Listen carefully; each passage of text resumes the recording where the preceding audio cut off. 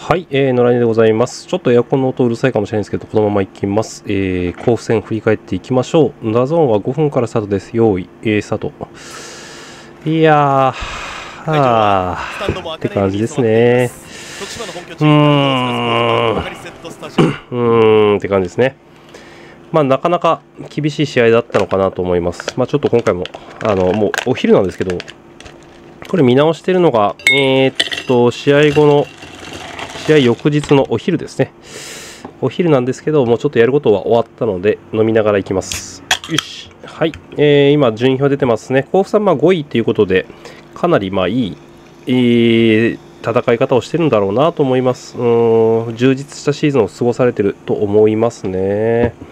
え徳島がま18位というところで、まあ、この試合を終えた時点で、ちょっと、うん、あのー、19位まで下がっちゃったのかな？とはいうところで、うん、ちょっと現実的にかなり厳しくはなってきましたね。まあ、ただ、うん、僕が言ってるように、あのいつも言ってるように、うん、まあ、うん、ちょっともうプレーオフ圏内っていうのが、えー、っと、得点、えー、っと、ポイント差と、うんと、試合数の残り試合数で言うと、ちょっとなかなか厳しくなってきましたね、正直。うん。ちょっと厳しいですね。まあ、まず勝ちがないのが一番良くないですね。うん。えー、っと、今日の実況は、えー、エノッチ、えー、解説がタブッチってことで、いつものメンバーでしたね。うん。はあ、勝ちたかったっすね。まあ前節甲府さんが大敗してたのでかなりやっぱり、えー、その辺気を使ってたのかなって気はします。うん。うん。はあ、まあ飲みながらのんびりいきます。エアコンの音どれぐらい入るかな？ちょっとあれだったら、うん、フィルターかけて、えー、したいと思うんですけど、フィルターかけると声がかなり変わっちゃうんでね、もうこのままいくかもしれないです。はい、予想フォーメーションで出てます。このままですね。うん。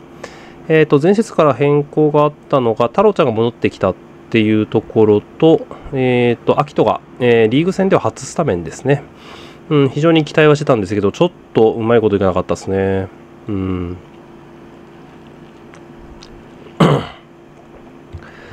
うん、うん。まあ、エオソンがベンチスタートってことで、まあ、エオソンがスタートから出れるようになったらまた変わってくるんでしょうけどねって感じです。はい、えー、甲府さんは、えー、4231のシステムですね。えっ、と、林田選手と品田選手。うん。ジェッツリオ選手が左。右か。ちょっと配置は確認しながらいきます。うーん。まあ、秋人がね、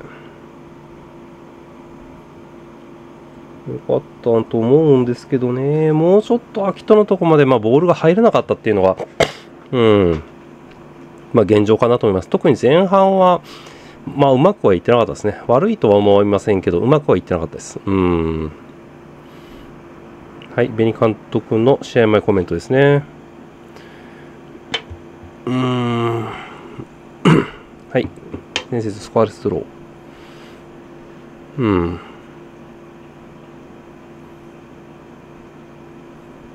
うん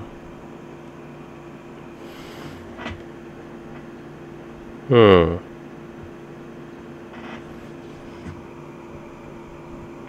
なるほど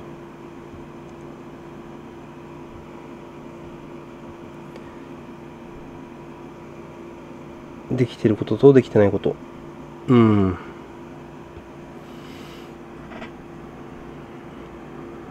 うん。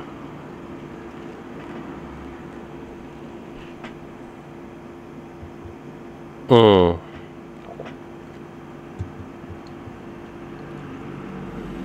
う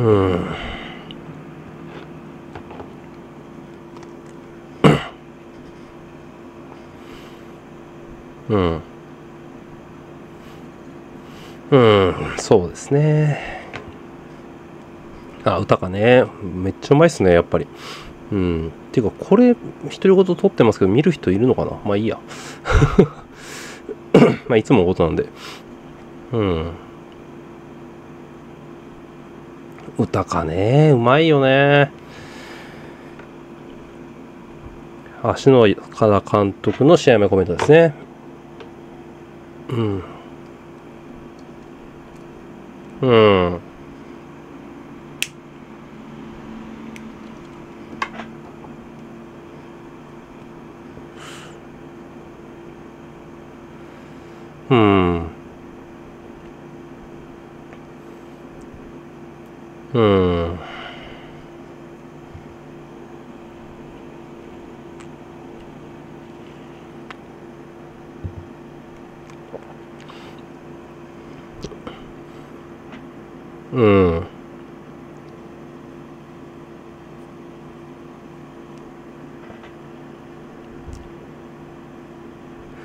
まあ、先週を入れ替えてるのは、まあ、前節大敗が関係すると感じですね。うん。うん。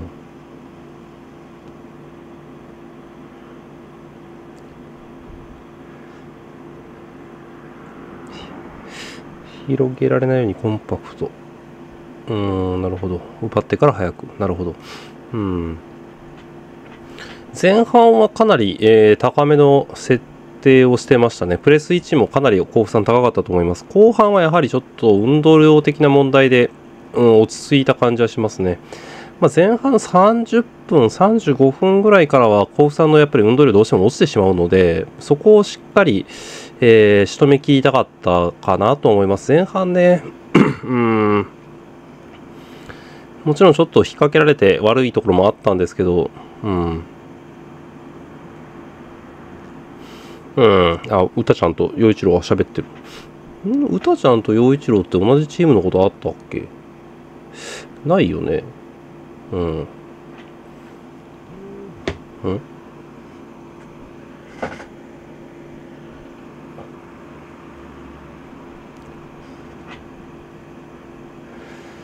うん。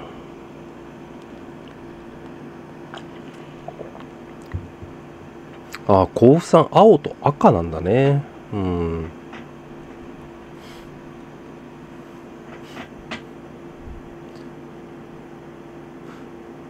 ああ、徳島ね。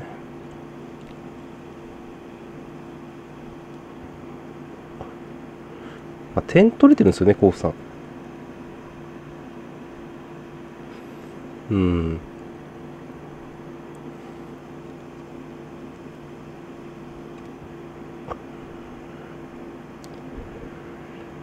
まあ、先制点取れれば、どのチームも楽ですからね。で、堅守速攻のスタイルだったらなおさら、うん、相手がボール持ってくれるので、まあ、そこ引っ掛けてってことできるんで、うーん、今日もね、この日も結構やっぱりゴール裏も結構入ってますね、人。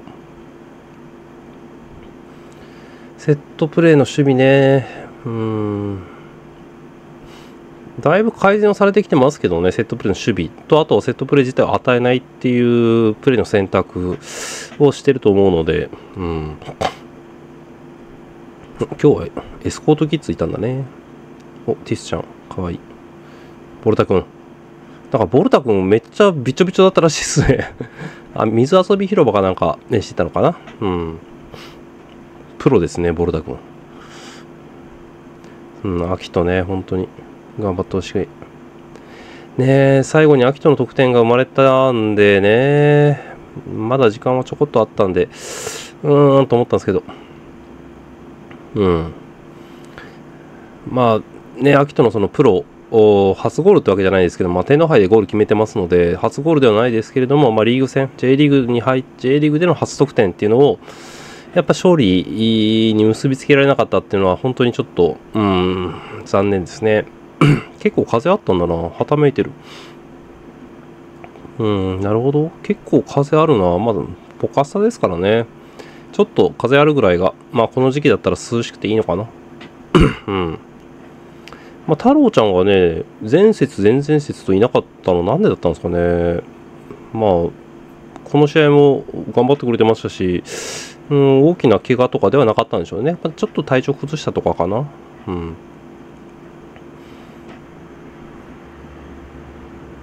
うん、これが27節か。残り15節。うん、勝っていくしかないね。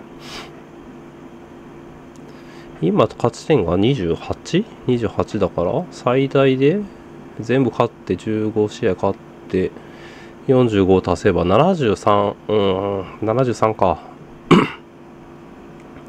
逆に言うと、プレーオフに行くためには、まあ、あと2敗したら、2敗3敗したらアウトですね。うん。勝ち続けるしかなくなっちゃいました。プレーオフまで。まあ無理な数字、まだ無理な数字。でもなちょっと勝てなすぎるからね。うん。あ一応、表記は3142の表記になったんですね。うん、352じゃなくて。いいと思います。勝ちで、あーコイントス勝って、陽一郎はエンド、まあ、ピッチを選んで、うん、変えずか。なるほど。まあ、風下を選びましたね。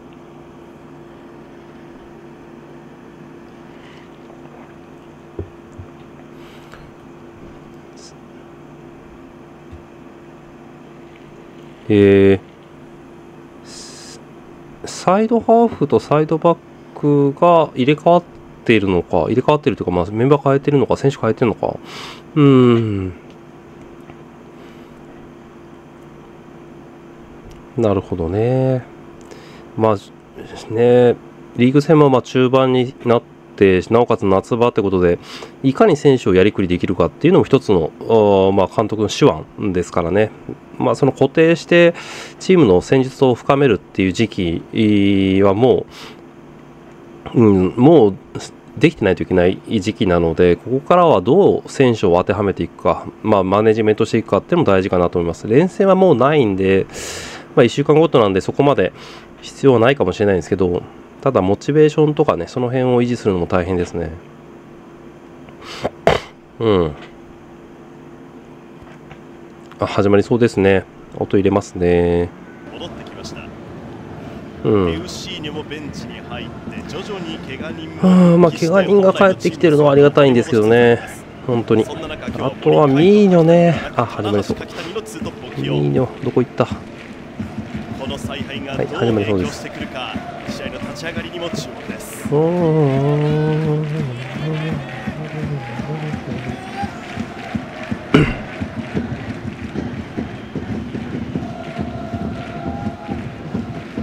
始まりそう。ピー、始まりました。スペイン式のパスサッカーか、堅守速攻か、スペイン式のパスサッカーか、堅守速攻か言うてますね、山地が。6、7、8、9、10。はい、ぴったり合いました。これで見ていこうと思います。うーん。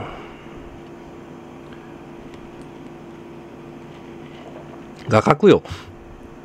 ゴールキーパーとボールしか映ってないんやけ。わからんて。これもわからんで、ゴールキーパーずっとやって。駆け引きもなんも。まあいいや。見ていこう。えーっと、甲府さんは、そうですね、前半はかなり高い位置からプレスかけてきてたのと、あとは、えーっと、ボールを持った時の組み立てに対して、99番のピーター・ウタカ選手が降りて関わることが多かったので、徳島としてはそのあたりちょっと助かってたかなと思います。やはりね、ウタちゃん残される方が怖いんでね、それよりは下がって受けてくれるんであればっていう感じではありますけどね。ああ、陽一郎はトップ下みたいな形ね。そうですね。うん。まあ、5バックにしてるんでね、そうなるんですよね。形的には。ナイス、アキト。ナイス、ナイス、ナイス。うーん。ボール持つときは、基本的に甲府さんボール持つときは、2センターバックプラス1枚のボランチが降りて縦関係になるみたいな感じですかね。ナイスです。量がいい対応ですね。いやー、よくない。ナイス。ナイス。阿部ちゃんナイス。いやー、笛ならんかったね。クロス。うん、ナイス。キヨ。陽一郎ナイス。それでいいっすよ、最初は。とりあえず、押し上げたい。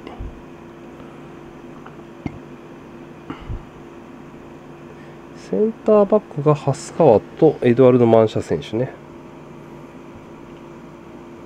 よっ小林選手サイドバック、武富選手がサイドハーフ、まあウィングか。うん。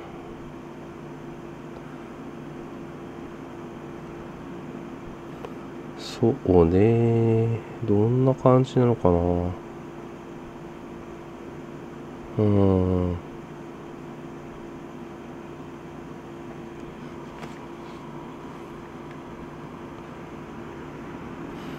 うんナイス白井さんナイスああ腰入ったのかちょっと痛かったね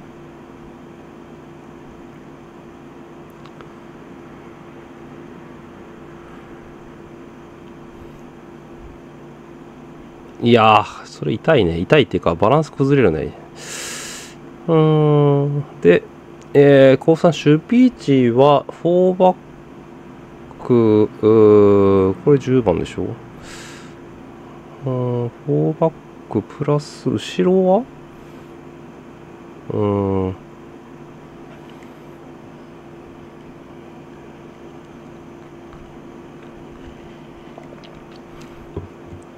うん、ナイス、後ろ。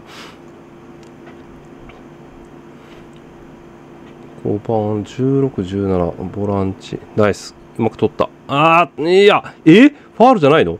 マジか。びっくりする。ナイス。あー、ね、器用。今の内側じゃなくて外側だよ、トラップ。徳島も若干前から行ってますね。これ、林田選手、16番、やっぱちょっと降りて、ここでピーター・ウタカ選手がこう、降りて関わってくれるんで、その代わりジェティリュエ選手、17番の選手は内側に入ってきてる感じでしたね。うん、そんな感じですね。これもジェティリュエ選手ですね。なんで、えっ、と、ウタカ選手が降りたところに関して、ジュトゥリオ選手が中央に入っていく。でも右のサイドバックの蓮川選手まではそんな高い位置取ってないって感じでしたね。で、ここも、まあ、宇高選手が行くんじゃなくて、10番の長谷川選手が前から追ってる感じですね。なので、宇高が一列下が、宇高選手が一列下がってる感じ。ナイス、陽一郎。うまい。早く刺したい。うん、太郎ちゃんは運ぶから前に行けと。うん、いいと思いますよ。で、西谷、ここで、うわ、甲府さん多いな。ああ、ナイス。まあ、1本目のシュートですね。もう悪くないと思います。入り、試合の入りなんで。まあ、枠に飛ばすっていうのが大事ですけど。うん、カットインしてシュート。うん、まあ、1本見せとくにはいいですけど、できれば枠。うん。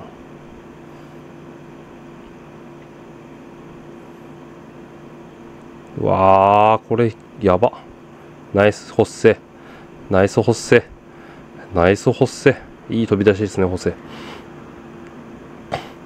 ホセの飛び出しを褒めろ。いい守備だろう、今の。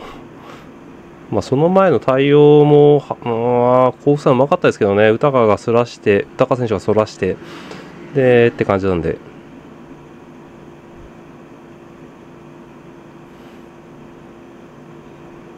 4411の守備組織っぽく見えますね。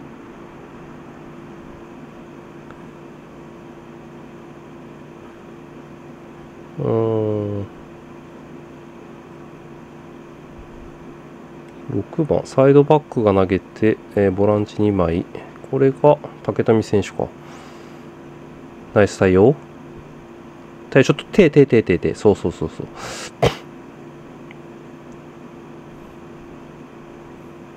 うん。うんナイスナイス。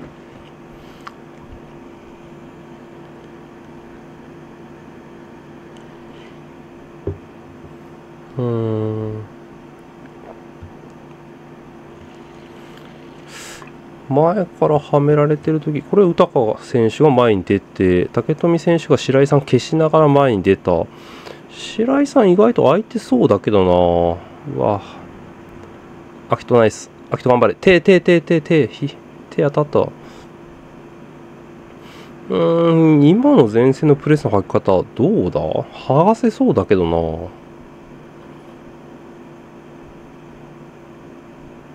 ナイス、陽一郎。ゴーゴーゴーゴー。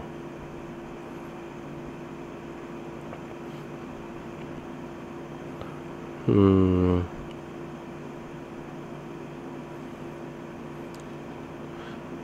まあ、背後へのボールでプレス回避ですね、簡単に。まあ、きっと、体を下げて、阿部ちゃんに通したかったけど、まあ、歌かの守備がうまかった。これ、実力選手出てきてるのね。うん、ここで1枚ずつ当てられてる？これ10番。これが長谷川選手。うん。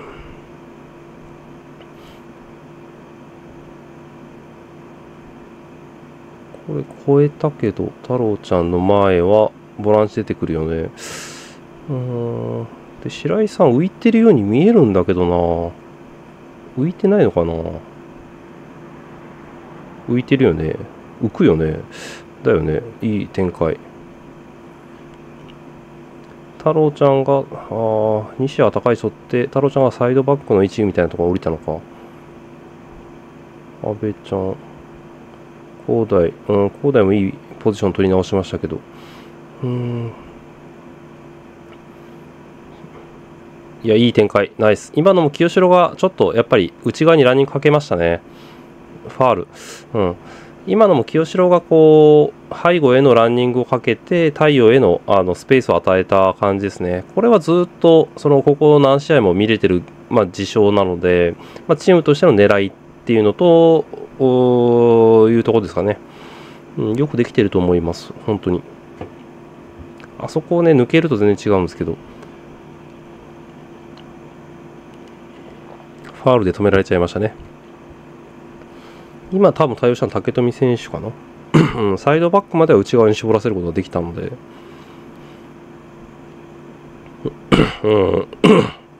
ちょっとね朝から指導法に行ってて声が枯れてて申し訳ない。ちょっとごほご言ってますけど。高いなこう見るとやっぱ甲府さん。徳島はやっぱちょっとちっちゃいんだよな。どうしても。ナイス。ああ来た。ファうん。こっからなんだよな。太陽か？奥にいるの。うーん。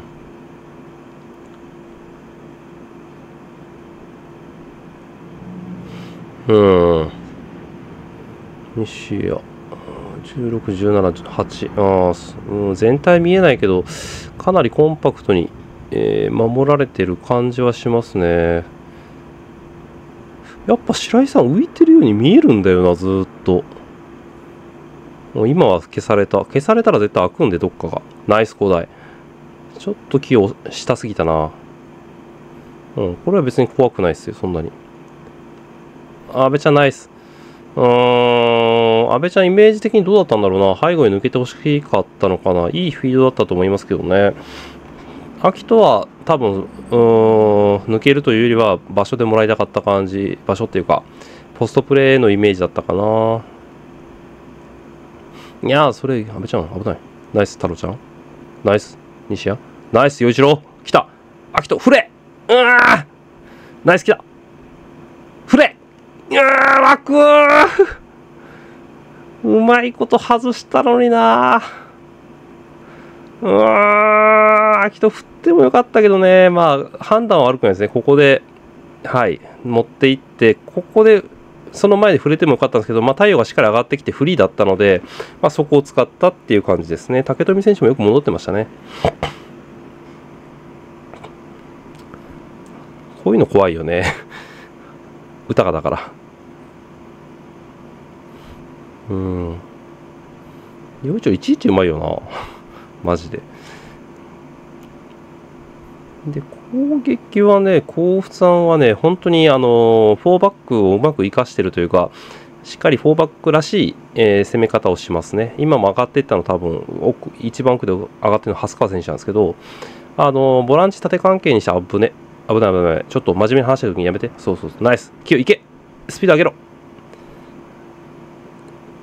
イエロー出してもいいぐらいだけどね。まあ、スピード上がってて、あれされたらイエローだけど、っていう感じかな。あの、甲府さんは本当に、えー、っと、4バックらしいボールの運び方をしますね。うん。うん。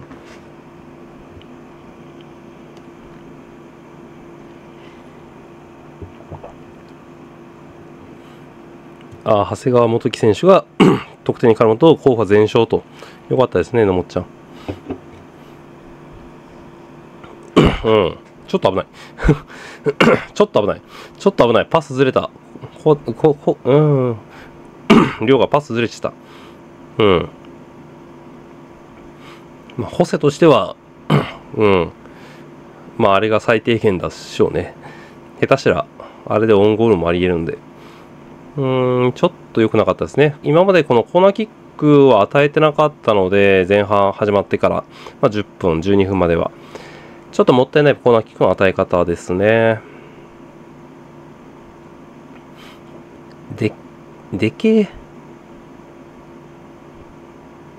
でけえ。えー徳島の守備は、まあ、ストーンプラスマンツーですね。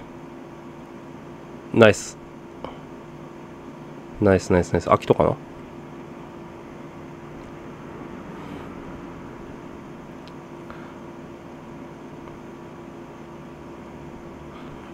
うん、まあそうですね。甲府さんは、まあそこも強みですよね。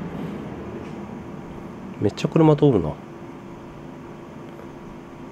これもニアか。うん。危な。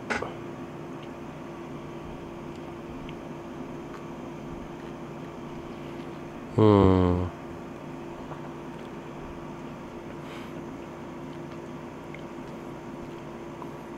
前から来てますね。歌か出して。はい。これも白石さん浮いて浮いてないのか？ナイスターン。いやー、引っかかった。ナイス清志郎。ナイス清志郎。今のファウルないよね。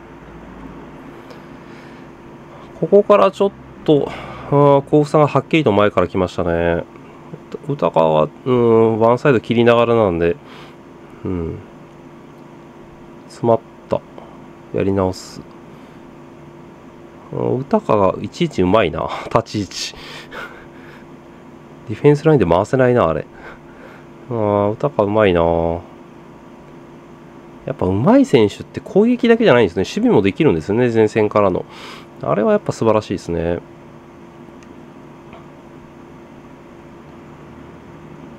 これ、サイド出てんの誰？何番？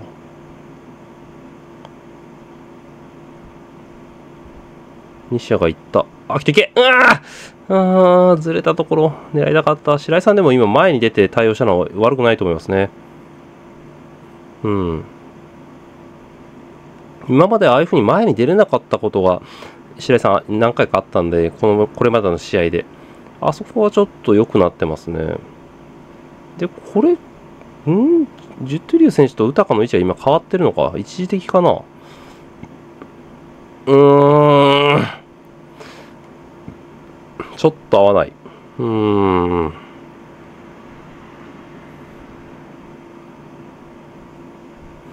ビルドアップ時は、うん、サイドバック高い位置、ボランチとセンターバックでボール保持。来ていけあー、ナイス、太郎ちゃん。太郎ちゃんボランチまで出たな。フリー。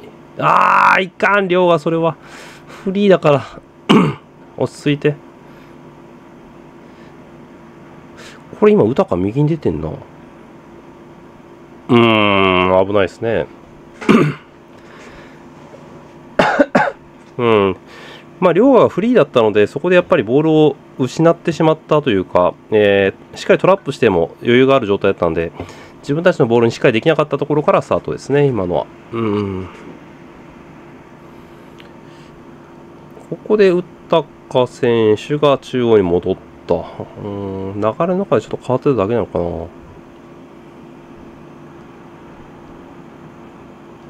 うん。うん、いいリスタートだと思いますよ。これ多分狙ってたんでしょうね。左に寄せて、全体寄せて、太陽降りてきて、えーショートパスで繋いでいこうっていうやつ。うん。全体の配置が見えないんで何とも言えないんですけど、多分そうだと思います。いやー、奪いたいけど奪えない。うわー、蓮川選手、一番右誰？何番？じゃあ、蓮川選手じゃなくて、その前に、裏に入った選手が気になる。誰？ナイス、阿部ちゃん。こっからスピード上げたけど、ちょっと白井さん近いな。うん。やっぱりその、徳島のサッカーにおいて、まあ今白井さんがやってくれてるピボーテの位置っていうのは、もうチームの重心なんですよね。だから下がれば下がるほどやっぱチームは下がっちゃうし、どっかでスピード上げて前に出るってことをしないと、ずっと下がりっぱなしになっちゃうんですよね。うん、守備の時は今1回出たので、攻撃の時にも、うん、味方が前に向いた時には、ちょっと上げるっていうのをちょっとしてほしいかなって気はしてますね。意外と白井さん無視してるというか、背中で消してるのかな、甲府さんが。うん、そこか、それがちょっとなかなかしんどいな。まあ、清志郎は高い位置取ってると。まあ、それはそうなんだけど、須川選手の前、ジッティリア選手が絞った時に、誰が大外張ってんだ？長谷林田選手？それとも長谷川選手？ちょっと見えないんだよな。慌てなくていいよ。ナイス。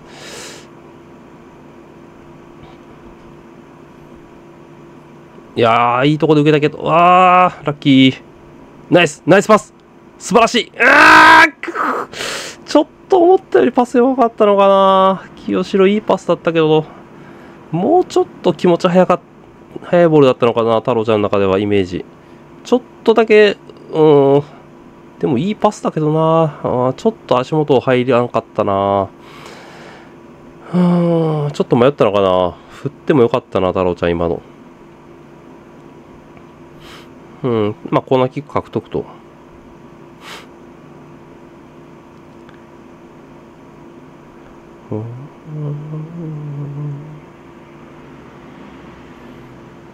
うん、こうやって見直してみると、甲府さんのプレスってそこまで速い、強いってわけではないなうーん、もうちょいなんとかならなかったかなとは思っちゃいましたね。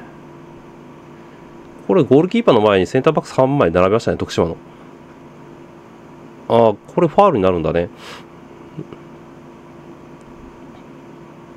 今のファールなんだ。うーん、今ちょっと徳島、あのセットプレー工夫しましたね。ゴールキーパーの前に3人高い選手を並べましたね。で、ニアサイドにボニアサイドというかファーサイド、んとゴールキーパーの前に速いボールっていうイメージかな。まあ、ちょっと工夫はしてましたね。ここ行きたい。あ白井さんが、ここで宇高選手が降りて受けてるんですよね。多分白井さんがちょっと前がかりになったんで、そこを狙った感じだと思うんですけど、ただ、宇高選手が下がってボールを受けるっていうのは、徳島そんなに実は怖怖くないことないんですけど、ゲームの組み立てに宇高選手が関わっているところでは、あんまり、うん、そこまで危ないシーンは作られてないかなと。もちろんそれで前進されてしまうんですけど、やはりゴール前の迫力っていうのが、うん、まあ、宇高選手いるいないでは全然違うので、まあ、その辺りは前半は、まあ、うまくやってた部分でもあるけどって感じかな。うん、いや、うん、スローイン、つながらんな。もうちょい早くスタートしたかったかな。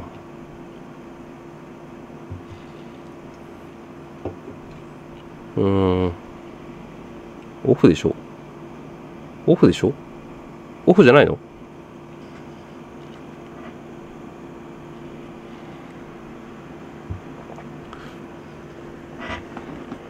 うん。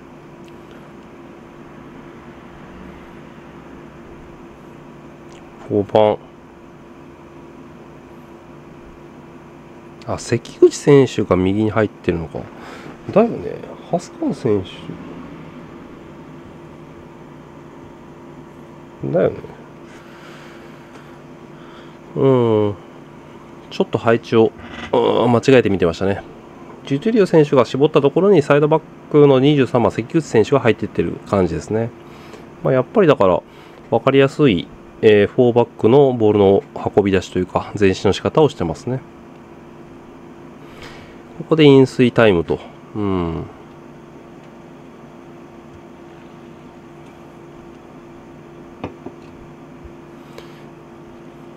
えー、っと、ここまでボール保持が58の42、シュートが22、うん、そうか。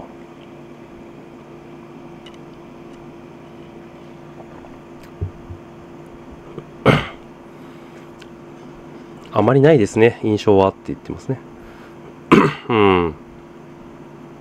今多分河本さんが、えーと、出身と話してましたけど多分コーナーキックのところで笛吹かれた部分でしょうね、まあ、手を使ったりは何もしてないよと立ってるだけだったんだけどっていうことだと思いますちょっとエウソンと旗本氏がイチャイチャしてたね今ね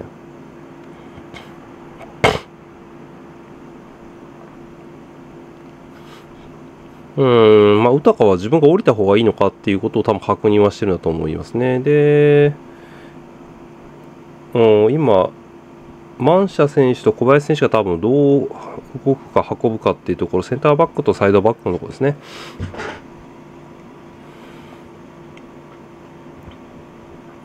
うーん。めっちゃえのもち徳島のうん、まあまあまあ、確かにね、いいとは思わないからね、この時間まで。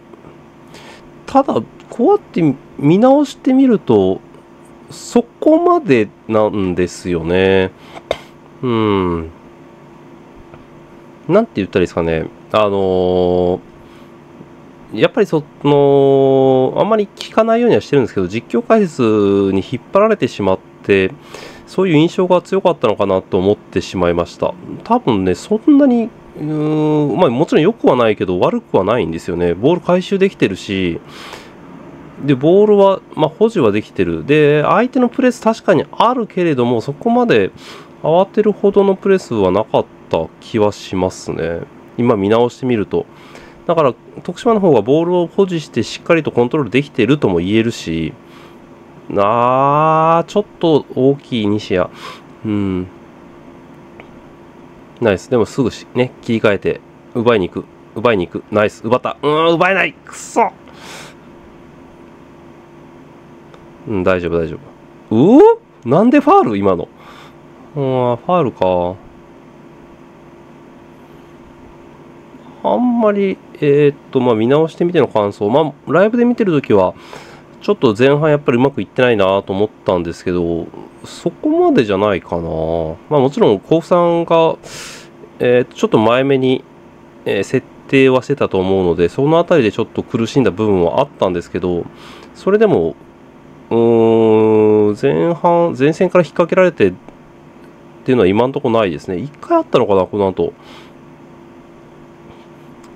これノーファールなんだよね。あー、ここで、そう、宇高選手に入ってしまって、もうここで一発やれちゃうんですよね。ナイス。危ない危ない危ない。なんであそこファールじゃないのかっていうところですよね。西矢のところ、奪われたところですけど、まあ、ただそこの一瞬、縦パス2本で、えー、甲府さんは完結ですね。ここの1本。で、この2本目で、あとはもう宇高選手どうぞっていうやつなので、危なかったですね。助かったっていう感じです。本当に。これオフも取れてないので、うーん、危ね。まあよくホセも寄せましたけどね。うん。まあちょっと今のは判定の部分で、うん、西矢のとこファールじゃなかったのがちょっと、ん？っていうとこでしょうね。徳島の選手からすると。まあただ笛にならなかったら仕方ないんで、切り替えてやるしかないですね。一応白井さんに銃はつけてるのか気持ち。相手前から来てるんでこうやってひっくり返すボールっていうのは悪くないんですよね。ただこの前から来られた時に、えー、逃げ道になるところっていうと、まあ、去年の4123の時にもお話ししましたけれどもやっぱりその幅を取るウィングの選手が高さがないとできないんですよね。ナイス。太陽ナイス。でその部分でその西矢が逃げどころになるかっていうとなかなか難しかった。で去年で言うと,、えーと、杉森君とか、うん、がウィング入ったりもしてたんですけどやっぱりそこでもやっぱそのハイボールロングボールでの逃げ道になりづらかったんですよね。まあ、そこはまだ継続してる課題かなと。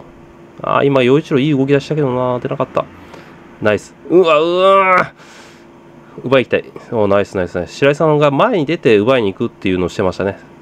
うわあ枠だよね、秋人。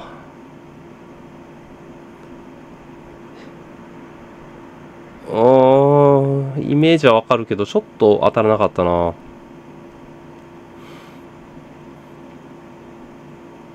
うん、うん。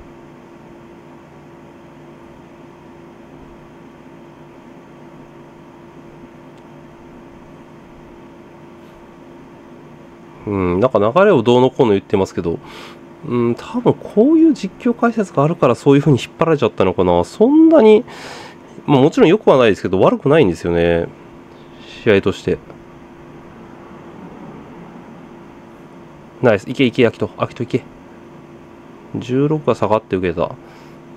で、白井さんの前かなり空いてんな。いい対応ですよ、白井さん。右切りながら、はい。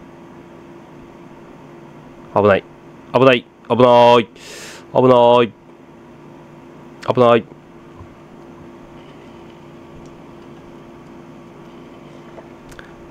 そうですね、後半戦というか、まあ、えークロスバー様ですね。ありがとうございます、クロスバーさん。うん。まあ、その前の前プレ剥がされたところからですね。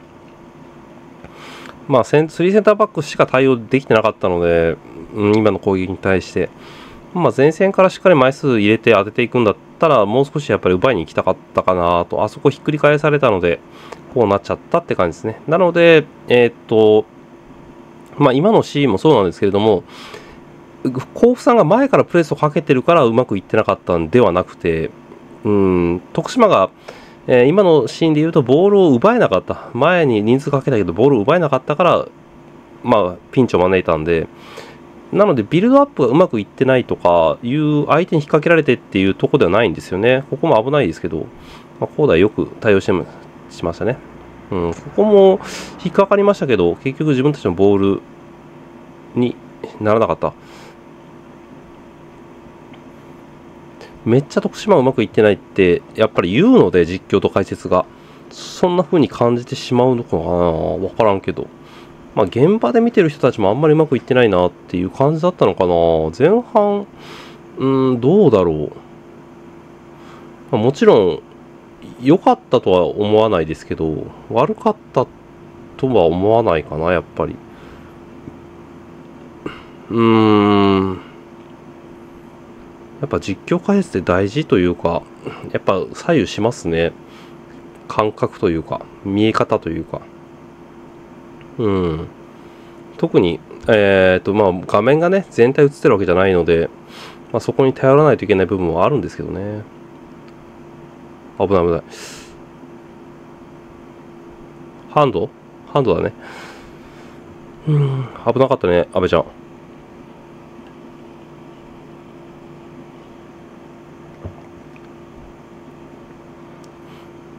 うーん、手足が速い。うーん、ちょっとわからんな。なんだろ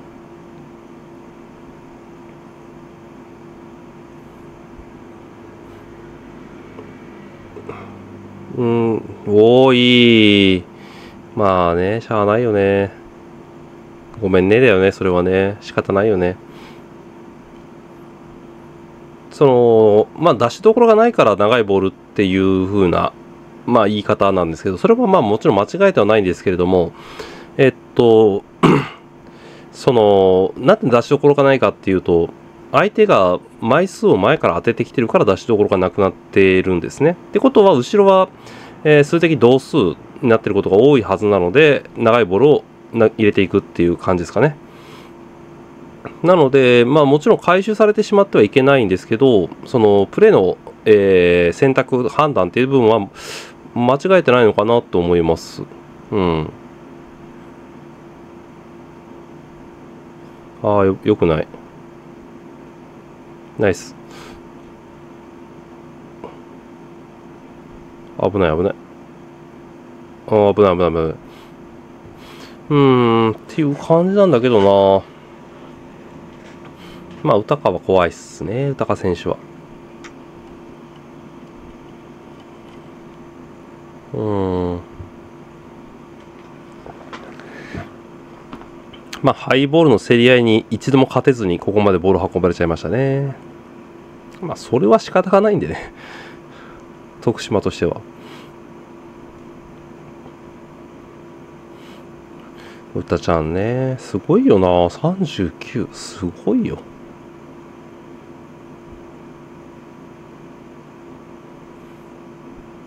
ナイス。あー、でもね、収めてもいいかな。でも、清志郎がやっぱり逃げ道になれるんで、まあ、前回の試合の時も言いましたけど、うん。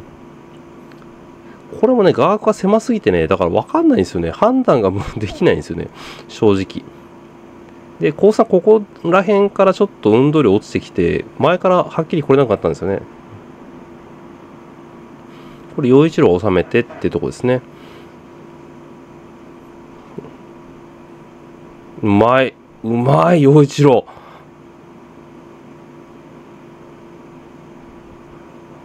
陽一郎の今トラップとかめちゃうまいな。いや空いたスペースに、ちょっと清志郎の動き出しが悪いな。うーん。結局最後まで下げちゃったって感じですね。ジュテリオ選手が行った。あ、わかんないでしょ、この画角で。徳島がやろうとしてることって。わかんないんだよ、本当に。なんとかしてくれ、ほんと画角。これ、だから大きなスペース空いてるよね。で、運び出すでしょう。悪くないよね、全然。で、中央使った。相手は撤退する。サイド変える。はい、ナイス。うん、いいよね。ああ、そこかそこなのか、清志郎。クロス。うん。単純に陽一郎の前のスペース使ってあげてもよかったと思うんだけどな。うん、まあ、清志郎もね、そのサイドの選手じゃないんでね。うーん。とはいえね、今やってるのは、そういうポジションなわけで。うん、今の運び出しも良かったですよね。全体で動かして、相手のスペース作ってっていうところで。まあ、この時間からコースがちょっとやっぱ運動量落ちましたよね。16。あ、林選手降りてるのね。まあ、コースさんボール持ってちょっと休みたい感じでしょうかね。うん。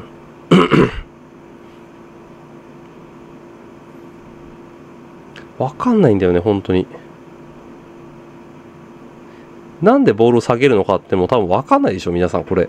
映像見ても。僕もわかんないですもん。人気わかんないから。その辺なんだよ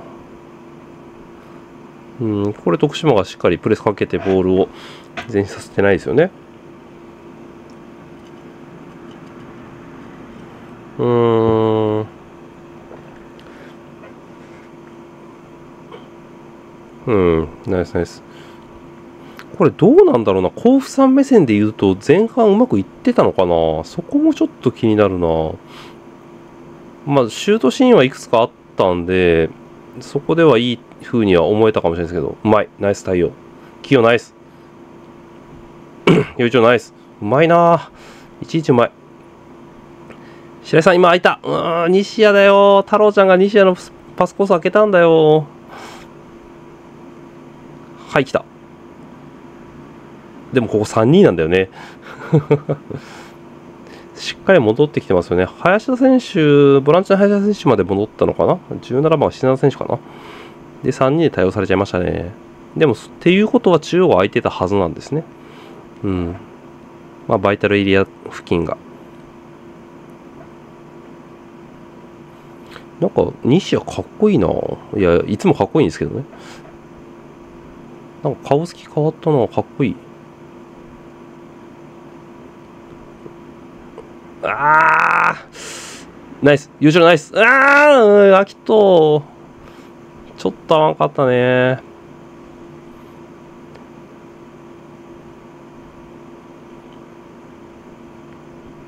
うん。これも降りていくボランチ誰がつくっていうところがちょっとはっきりしてなかったのかな。これ中央にいるのはボランチの林田選手とかですからね。ナイス清志郎。中央入ってこいナイス。いいよ。太陽来たよ。はい。はい。切り込んで。カットインして。太郎ちゃん？太郎ちゃん？はい。広げたい。もう相手準備してる。ああ、いいとこ降りた。アキト。ナイス。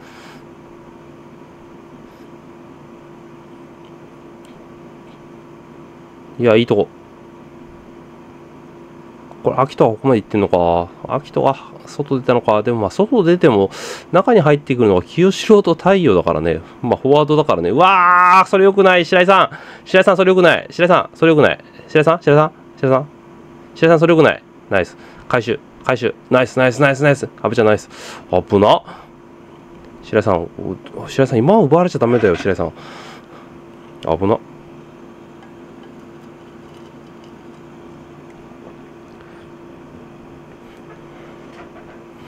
うーん、少し長くね。ナイス。いい背後の抜け出しですね。あー、ちょっと合わんかった。ちょっと触れんかったか。ナイスタイ。ナイス太郎ちゃん。ナイスうーん太郎ちゃんナイスだったよ。うおー西尾目。あー、ちょっと、ちょっと合わんかったか。もう太郎ちゃん素晴らしいですね。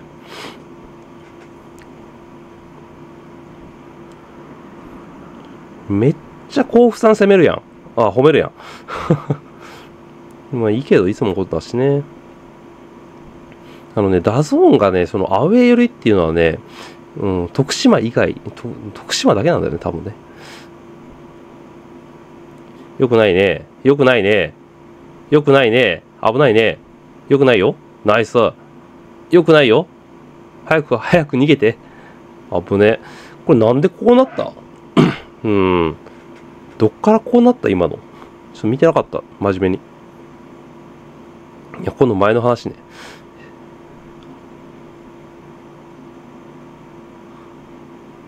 スピード感ね。まあね。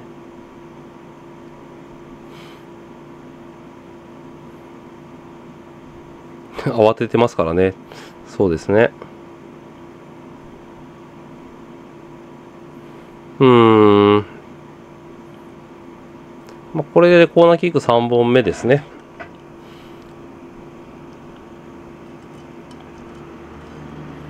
うーん。39分とかあれなんでああなったんだろうな。まあその辺もう一回見てみよう。うん。そうね。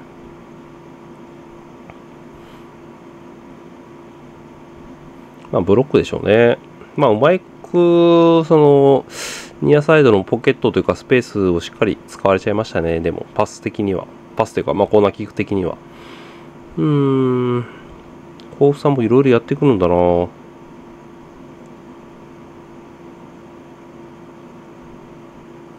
すごいね。やっぱ甲府さんがプラン通りに行ってるっていうふうに言うんだね。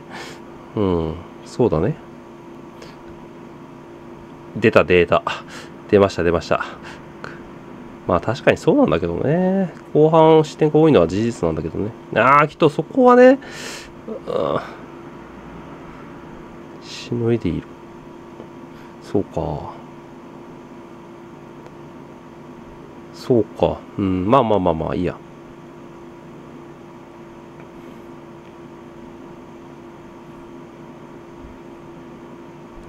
田淵さんがちょっと、ちょっと徳島のこと褒めてくれてる。ありがとう、田淵さん。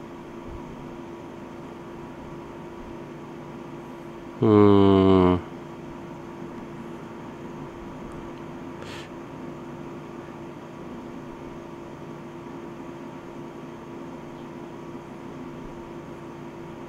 ここは、うーん、23。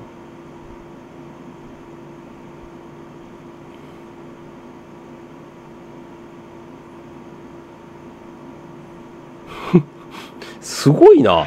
やっぱ実況解説って、やっぱすごいな。すごい、こう、印象、まあ、操作と言ったらあれですけど、やっぱ印象変わりますね。うん、すごいな。怖いな。マスメディア怖いな。まあ、今いい展開されちゃいましたね。ずれた、ライン上げたい、上げたい、上げたい、下がった、ボール下がった、上げたい、上げたい。上がってるかどうかわかんない。上がってるね。うーん、ちょっと見えづらいんだよ、ガーグ。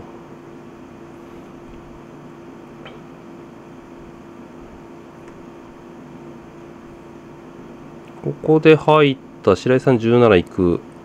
ここ遅れたね。阿部ちゃん出てくの遅れたね。うーん、もっと押し出してよかったかな。太陽までしっかりライン入ったんで。うーん。ナイス太陽。太陽頑張れ太陽頑張れ危な。危な。危な。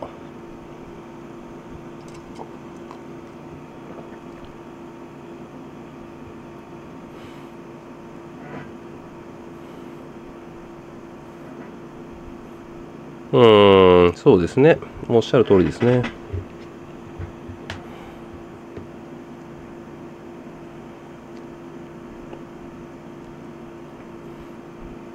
うーん、まあちょっとこの時間、徳島もボール持ててたので、ちょっと点は欲しかったっすよね。この辺で。危ない危ない危ない危ない危ない危ないって。うん。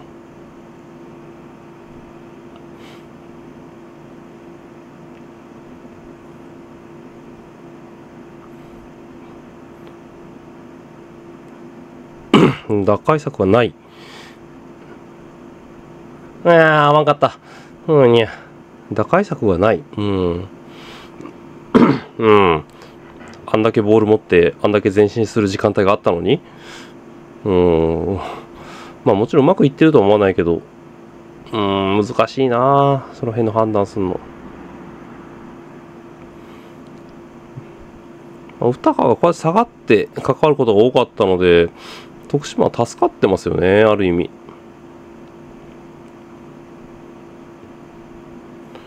うーん。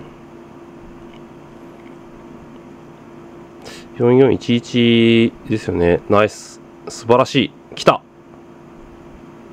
来たはいうわーなんで入らんのや、それがなんでよなんでよなんで？なんで入らんの？それが入らん。なんで？完璧やん。今、クロスも良かったし、清郎のシュートもハイディングシュート、かぶっとうやん、これ。どうしたん、阿部ちゃん。ナイス補正。ナイス補正。ナイス。太陽ナイス。はい、二人かわしたよ。はい、前進しましょう、早く。ナイス。はい、セカンドプレスも超えた。5、ああ、今、清志郎内側絞ってって、秋人のスペース上げて、秋人、はい、今、そう、ナイス。太陽、ここまで上がってるからね、もうさっきパス出したの太陽だからね。来たうーんうーん今、ニアに入っていく人いなかったね。でも、太陽がね、ささっき、あれですよ、ホセのパス受けたんですよ。で、ここまで上がってきてるので、そういうのが見えない画角がムカつく。ムカつく。わかんないじゃん、選手の頑張り。見えないから。マイボール。あー、残念。うーん。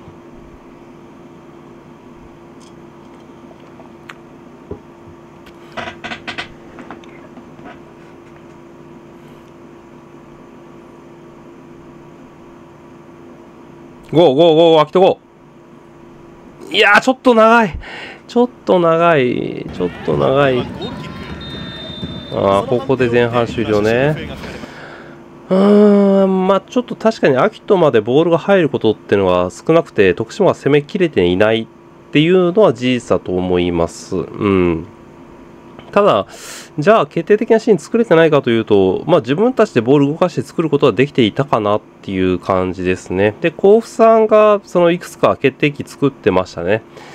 まあ、徳島がボールを失う場所が悪かったというか、しっかりと攻めきれなかったところでカウンターを受けてしまったりとか、まあ、前線からプレスをかけてはいましたけれども、ちょっと、じゃあそれでボールを奪えたのかというとそうでもなくて、で、まあ、長いボールを蹴らして、え回収するっていうのが甲府さんの狙いであれば、まあ、それは甲府さんの狙い通りかなと思います。ただ、うん、その中で徳島もいくつかひっくり返す場面もありましたし、前から来てる、えー特にサイドハーフの選手の背後のスペースを、えー杉本選手が使って前進するとかいうところもありましたんで、うん、ライブで見てる時よりは、印象としてはいいかなというふうに思ってます。では映像持ってくるまでまたマイク切ります。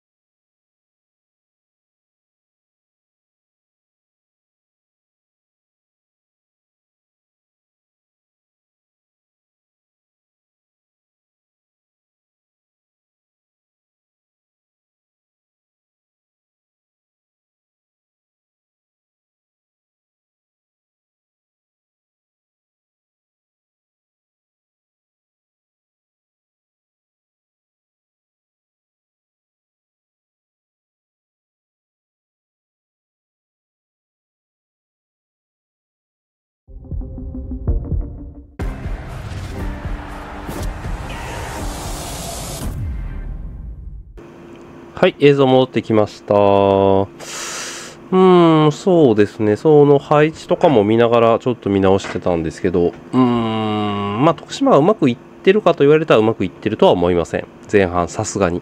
ただ、そこまで悪くなかったのかなっていう感じですね。見直してみて感じたのは。うん。まあ、もちろん、福岡さんが前から人を当ててはきましたけれども、うん、それに対して、えー、ボール前進する機会っていうのはあんまりなかったんですが、うーん、って感じですかね。まあ、いいところもあり、もちろん交差のいいところがあったりもするので、まあ、相手があることなんでね、そこはお互いありつつっていう前半だったかなと思います。ちょっと、うーん、ボールの失い方がまずかった部分はいくつかありましたね。はい、リモートチェックインのお時間です。皆さん、リモートチェックインしましょうね。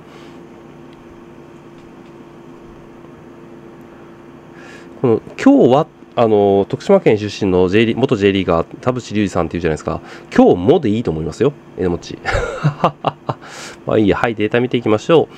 えっ、ー、とシュートは、えー、徳島5甲府さんが8で枠内が徳島が2で甲府さんが1っていうことで。うんまあシュート本数的にはうん、甲府さんの8本ということなんですけれども、徳島もまあ5本打ってていて、枠内に2本しっかり出してると、2本っていうかまあ1本だと思うんだけど、こう、あの、清志のやつね、だけだと思うんですけど、で、ボール保持が53%と47%ということですね。うん。で、ここは結構面白くて、えー、っと、ボールダッシュ位置の比較が出てるんですけれども、ボールダッシュ位置って徳島は確かに低いんですね。38.6メートル。ただ、そこまで低いかって言うとそうでもないんですよ。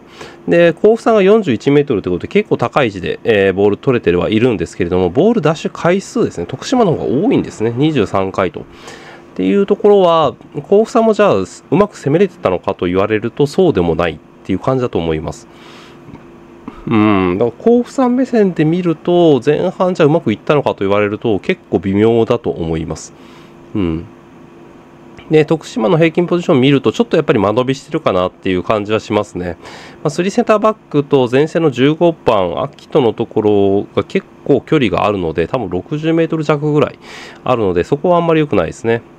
で甲府さんの平均ポジションで言うと多分、えー、一番ディフェンスラインから前線まで多分40メートル弱ぐらいしかないので、まあ、コンパクトにしっかりボールを運べていて、まあ、ボールを触れられているってところかなと思います。で、16と17がやっぱり降りながら、えー、ボールに関わってるっていうのと、あと、宇高選手もやっぱりちょっと低い位置っていうのが見えて取れますね。はい。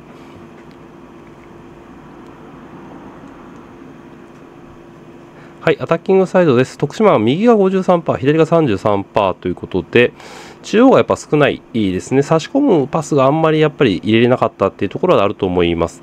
うん。まあ、今現状、徳島としては左で作って右に展開っていうのが多いので、やっぱり右サイドの攻撃回数が多くなってるのかなというふうに思います。うん、ただやっぱもう少しやっぱ中央使いたいですね。14%っていうのは少ないので。はい。で、甲府さんが左が45%、で、右が27%、えー、中央が28%っていうことで、まあ、中央も使いながらなんですけども、左が多いっていうことは、徳島の右サイドと勝ち合っちゃってるっていうところ。うーん、でもそんな左多かったかなっていう印象的にはあんまり左多くなかったんですよね。中央がどちらかって多いかなって気はしたので、もうちょっとなかなか難しいデータかなと思います。はい。で、パス本数なんですけど、徳島より甲府さんの方がパス本数多かったんですよね。前半終わって。で、これなんでかっていうと、うんと、多分なんですけど、徳島が甲府さんのディフェンスラインに対してプレスをかけない時間帯が多分あったと思うんですけど、あそこでパス本数かなり増えてるんだと思います。なので縦パスの本数で言うとお互いそんなに変わんないんじゃないかなと思います。はい、ハイライトですね。うーん。これね、秋人、そこで振るかと思ったら、ちゃんと展開して、あ、これもね、太陽枠飛ばしてほしいけどね、フォワードだからね、まあ、ニア、ニア、ニア上ズドンなんだろうね、イメージ的には。悪くないと思うけどね。まあ、秋人の選択も悪くなかったと思います。これは良くなかった。これでもね、その前のプレーが、うん奪われたところはファールじゃねえのっていうところはあるんですけど、まあ、しっかりと阿部ちゃん最後まで体寄せてましたね。で、ホセもしっかり対応してくれたと思います。うん、危ない。あ危ない、危ない、危ない。ありがとう、クロスバーソン。慌てましたよね。慌てましたね。そうですね。うん。これもちょっとハイボールの競り合いに2回ほど勝てずにここまでボール運ばれてしまった感じでしたね。まあ、そこは致し方がないというか、これいい展開ですよね。はい。ポン。クロス。はい。うわーああ清志郎。これ入んないの不思議。もうあかん、もう。お払いに行こう。前節もこういうシュートがあって入んなかったでしょう。東京ベルディさんとね、やった時に。うーん、入っててもおかしくないんだよね。はあ。はい、データ比較か。秋人と歌かね。えっ、ー、と、まあ、秋人は前線でボールしっかり触れてるっていうところなんですけど、やっぱちょっと回数が少なかったかな。そこまでやっぱりボールが運べてないっていうところはやっぱりあるかなと思います。で、宇高選手に関して言うと、かなり低い位置まで降りて、ね、ボールに関わってるってとこ見えると思うんですけれども、うん、その前線でボールを待つというよりは、下がってゲームを組み立てるところまで下がってましたので、まあ、宇高選手1人でサッカーしてる感じも印象としては受けるぐらい、それぐらいやっぱり宇高選手は効いてたかなと思います。まあ、受けて、降りて、えー、降りて受けて、で、落としてもう一回自分が前線まで入っていくっていうような形で、本当に、えー、素晴らしい、ね、選手だなというふうに思います。はい。じゃあまた映像戻ってくるまでマイク切ります。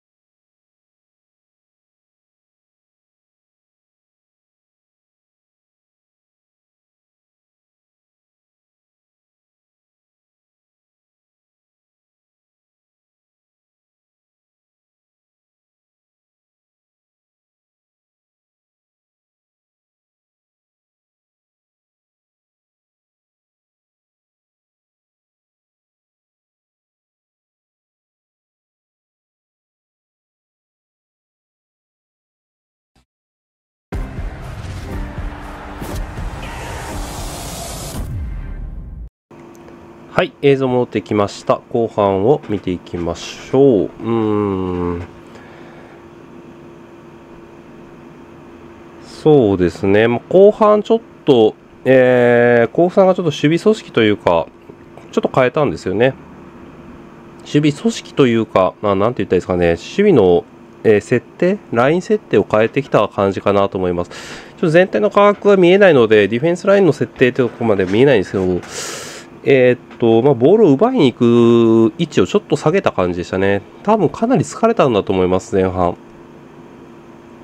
うん、まあ、あれやってて90分持たないので、まず。だからそのあたりは徳島としては前後半含めてのマネジメントって部分では悪くなかったのかなと思います。まあ危ないシーンいくつか作られましたけれども、ゼロで抑えて相手を走らせることが前半できたので、そこは悪くなかったのかなと思います。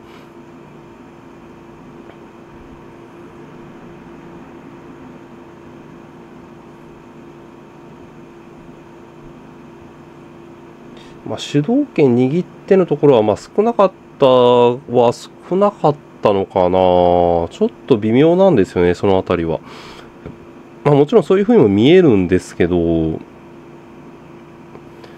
ーん。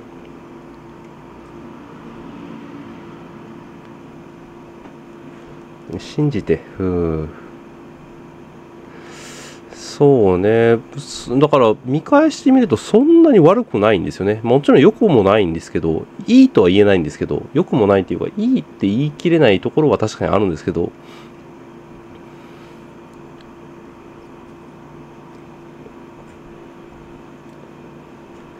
まあ、甲府さんの方が感触はいいだろうっていう実況解説ですね。まあ、甲府さん目線で見るとどうなんだろうな。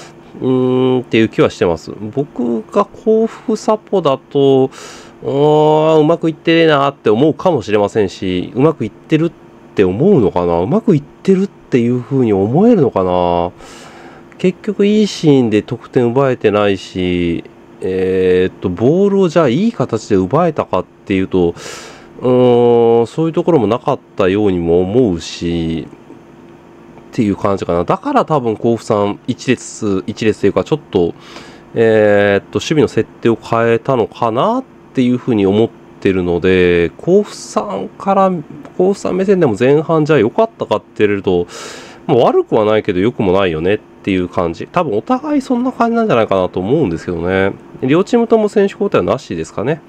うん。めっちゃ高学圏とか言うやん、江戸もっち。まあ確かにそうなんだけどね。まあまあ高学圏見ないといけなくなるのもあれですけど、うん、個人的にはまだ上見てもいいのかなと思ってます。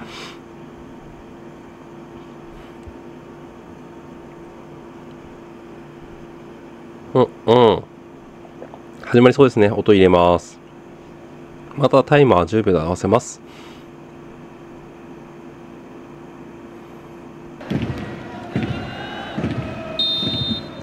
ピー始まりましたまずはこのフォークボールでスタートですね主導権の握り合いどちらが制するかナイス。7、8、9。あ、ちょっと遅れた。1秒遅れてます。ぴったり1秒、ぴったり1秒ぐらい遅れてますが、このまま行きます。はい、行きます。大丈夫だよね。はい、見ていきましょう。まあ、甲府ボールからスタートで、まあ、徳島はしっかりボールを奪って、うん、背後の狙いと、悪くないと思いますよ。23、うん、そうね。うーん、あれ止められるんかって感じですけどね、個人的には。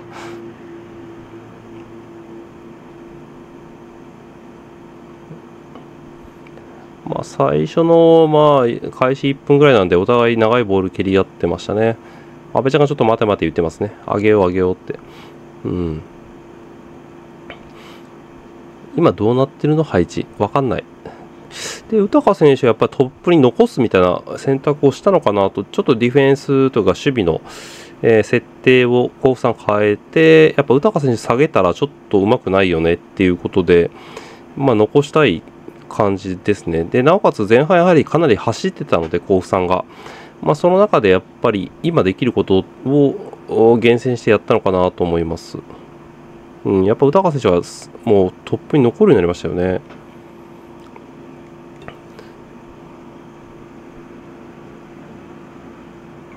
うん。ナイスよ、一郎。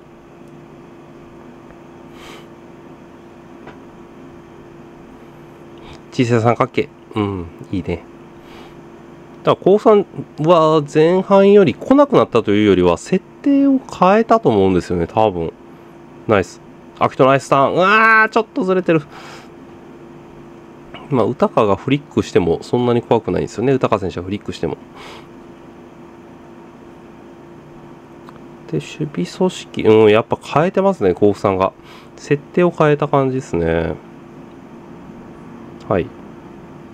あ、狙われてたかな、広大のとこ。うん、微妙だね。ちょっと、その、甲府さんが設定変えたので、長いボール蹴ってもちょっと厳しいですね、この状態だと。かなり多分今ディフェンスラインも深かったと思うんで、あれだとやっぱりちょっと通しながら、中央使いながら、えー、前進した方がいいのかなと思います。うん、徳島としてもあれ来なくなったって感じだと思います。これだから、運んでいいんですよね、まだ。運んでいい。まだ運んでいい。白井さんそこ降りてこなくてもよかったかも。うん、運んでいい。で、ここで行って、うん、来なくなって、徳島としてはあれっていう感じではあると思います。うん、サイドチェンジも狙いながら、そうそうそうそう、今みたいに太郎ちゃん使って、えー、中央できれば通したい。ナイス。これ8番対応してるんで、ここはあんまうまくないですね、徳島としては。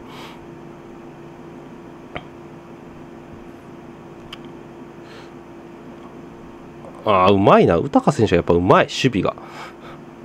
あの、ボールを奪うとか奪わないとかじゃなくて、あの、体の向きとか入り方とか、パスコースの消し方がうまいっす。宇高選手の。うまいな、宇田ちゃん。攻撃だけじゃないね、宇田ちゃん。ナイス。ここから徳島がしっかりとボールを保持して前進していく形を作っていくので、この辺りでもやっぱ点取れなかったのかなうん、西はこれ運んでいい。超えれるもんだって、プレスライン。で、ボランチ引っ張り出した中央空いたはず。白井さんが今フリーになってる。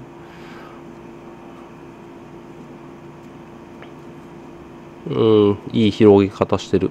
白井さん寄っていかなくていいよ。もう一回入って、スペース与えて、運び出して、はい、OK。はい、超えた。で、ライン間に2人3人入ってましたね、徳島。ナイス。ナイス。いった。ゴール前。来たうわー、よちろうまいな。前向くのうまいな、陽一郎。あー、太郎ちゃんはちょっと、えー、太陽を見せながらシュートを狙った感じですね。これも宇高選手が下がってきて、えー、プレーしてますよね。ここまで下がってくれると、長いボール蹴られても徳島としてはそんな怖くないんですね、正直。ただ、宇高選手は下がらなければ、徳島があそこでいいようにボール持てるっていうことで、まあ、この辺で主導権は握れてるかなと思います。うん。失点シーンね、ちょっとあんま覚えてないんですけど、なんで失点したんだろう。28度の67%。サッカーしちゃいけないって、マジで。あー、ちょっとずれたナイス、阿部ちゃん、ナイスフォロー。ナイスカバー。相手陣地の中に入ってできてますね。キヨ、キヨ、うん。ファールだね。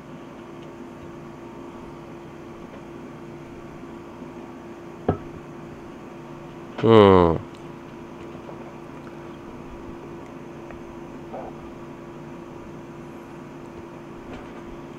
主導権ガラッと入れ替わってるっていうよりは、甲府さんの守備の設定が変わってるだけで、うーんって感じですかね。まあ、徳島うまいことやってるっていうよりは、逆に言うと、甲府さんがちょっと下げ目で設定変えてるので、まあ、変え、そ、うん、そこいうプレスだったら徳島ボール持てますので、やっぱり。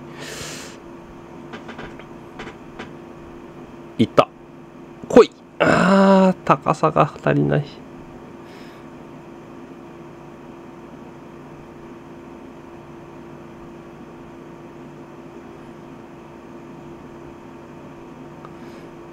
うん、西はナイスですね。これも画面見えねえ。3バックが多分今戻ってきてる。阿部ちゃん戻ってきた。龍河まで戻ってきたね。こうで戻ってきた。はい。白井さんちょっと前向けたんだったらもうちょっと突っかけてもいいかもね。ああ、陽一郎いい動き出したけどな。出てこなかったか。うん。よく走ってますね、長谷川選手、10番の。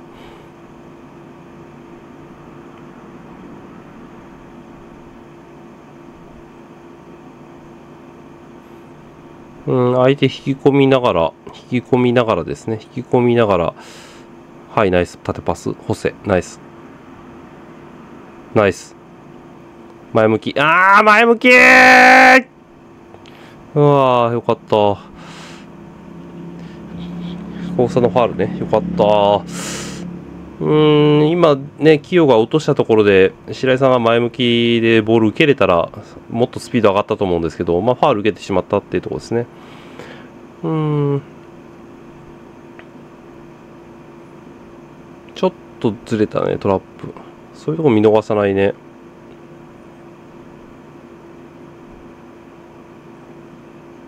うん、太郎ちゃんがやっぱりここに降りてきてるってことは、西は多分張ってると思うんですけど、張ってますね。来た、雄一郎。あ、危ない危ない危ない危ない危ない危ない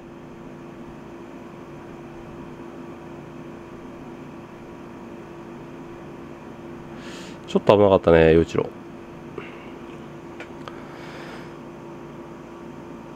トラップしようとしたところに、ああ、体ぶつけられちゃったのね。それはちょっと危ないね。で、これ、え、スローインで再開だったっけ？ファールでもいいぐらいだけどな。甲府さん、うーん、スローインか。まあいいけど。秋人頑張れ。ナイス。ああ、キヨが寄ってくるな。寄ってこなくていいんだけどな。ナイスあー、合わんのかい阿部ちゃんいいとこ出したけどな、滑ったけど。うーん。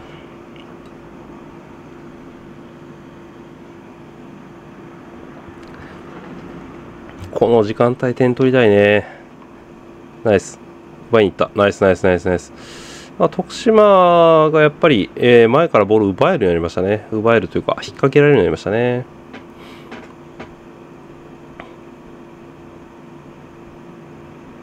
ナイス。これなあナイス。いいボール。来た陽一郎ああちょっと足つかんかった。うわーもったいねー。太郎ちゃんよく走ってくれてるな本当に。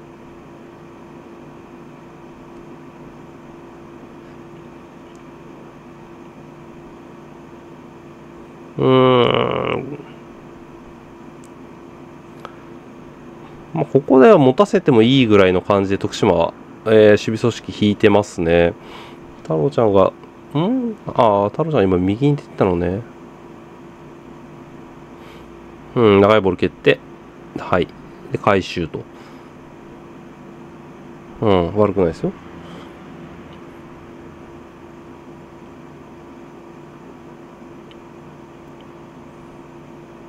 まあ僕、ライブで見てるときには、エウソンが多分60分ぐらい出てくるから、うん、それまではとりあえず0-0、もしくは1点リードぐらいでって思ってましたね。まあ、それぐらいできるだろうと思ったんですけどね、流れ的にというか、あの展開的には。うん、ここで、はい、空いた、運んでいい。これ、ボランチが出てきてるはずだから、うん、太郎ちゃん開くよね。そうだよね。あ、潰された。潰されたけど？は？ファールっていうか、ハンドを取ったみたいだけど、えー、ファール、うーん。今、後ろから潰されたように見えたけどな、違うのかな？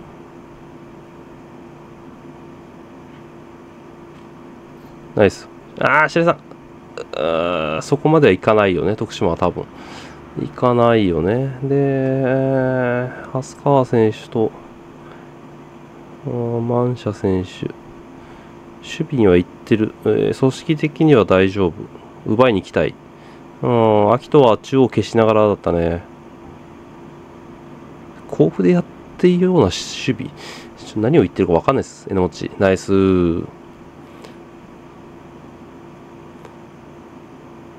いいボール。太陽ナイス。白井さん？ナイス。いっていい。勝負、勝負、ゴーいやー、ちょっと大きくなった。うーん、ここからか。まさかこれからか。あー、ナイス、広大。ナイス、広大。ナイス対応。ナイス対応。はい、りょうが頑張って。りょうが頑張って。うわ、ナイスナイスセーブナイスセーブ、発生。ナイスセーブ、発生。危ないって。お互い足つってるとね、まだ57分だけど、2回目だよね、確か。そうだよね、清志郎多分2回目ですよって言ってると思うんだけど。うわー、歌か、ううお、ナイス補正、ナイス補正。まあ、その前のカウンターになるところで、両が、両がと、えー、コーダがしっかり対応してくれましたね。いやいやいやいやいやいや。太郎ちゃん、ひげ剃ったよね。うーん、この8番の竹富選手、いくつか同じようなファール繰り返してたんで、まあ、イエローカード出てもおかしくないのかなとは思いますけど、出なかったですね。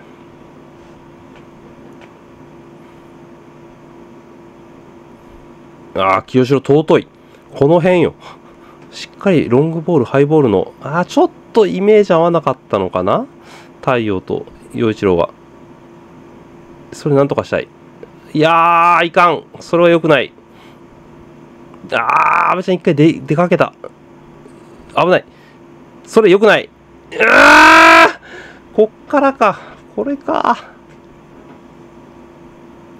うーん。いやー、いい時間帯作って、徳島が、まあ、攻め込んでて、相手陣地でボールを保持する時間帯が長かったんですけれども、その中で、えー、一発でやられちゃいましたね。この前のシーンとか見せてほしいんだけど、ちょっと阿部ちゃんが出かけたから、涼河がそっち行っちゃったんだよね。で、こぼれたところに対して、あ相手の長谷川選手がしっかりと、えー、詰めていたという感じですね。ここは量はしっかり止めてくれたんですけど、まあ、これで体制的にクリアするのはやっぱり難しかったので、あそこは止めるだけになっちゃいますよね。で、太陽まで帰ってこれなかったっていうところかな。うん。その前のシーンからちょっと見てみようかな。ボール奪われたところというか、失ったところからかな。うーん。ちょっと時間帯的にも徳島はやっぱり60分で選手交代するので、その前に点数を取られてしまった、失点してしまったというのは、うん、良くないですね。出ました。めっちゃ嬉しそうやな、もっち。背番号10が得点奪ったら負けてませんよ、全勝ですよ。まあいいけど。まあ、そもそも甲府さんはやっぱり、えー、基本ベースは堅守速攻なので、来た。はい。うわー入らんのかい！え、それも入らんの？えー、それも入らんの？もうなんなん？本当に。いいボールだったよね。陽一郎かぶったって。あー、ちょっと、イメージよりちょっと入ってきちゃったんだろうなあーあーちょっと秋人的にもイメージ的にはちょっと入りすぎちゃったかなうわこれ入っときゃ全然違うんだけどなうんそれも入らんのかなんで？なんで？なんでな？本当に？なんで入らんの？入りそうなシュート入りそうなっていうかまあ危ないって。いやいやスローフィンっていうか危ないからファールだよ。うーんなんで今の入んないのかな？よくない。うーん。あー、2本決定機があってどっちも入んないのか。つら。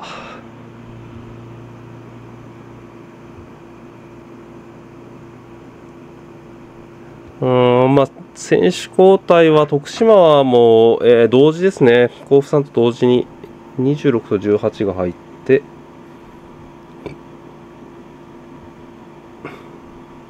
甲府さんが？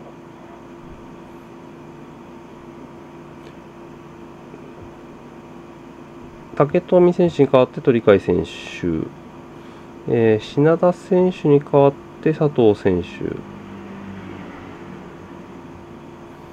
ある程度ですね、そうですね、ある程度ね。うんと、で、徳島の方が、ここで面白い采配を、まあ、ベニ監督が取られましたね。点数が入ったから変えたのか、まあ、失点し,、ま、してしまったから変えたのか、それとも規定通りなのかっていう感じではあるんですけど、あれ、徳島の交代は？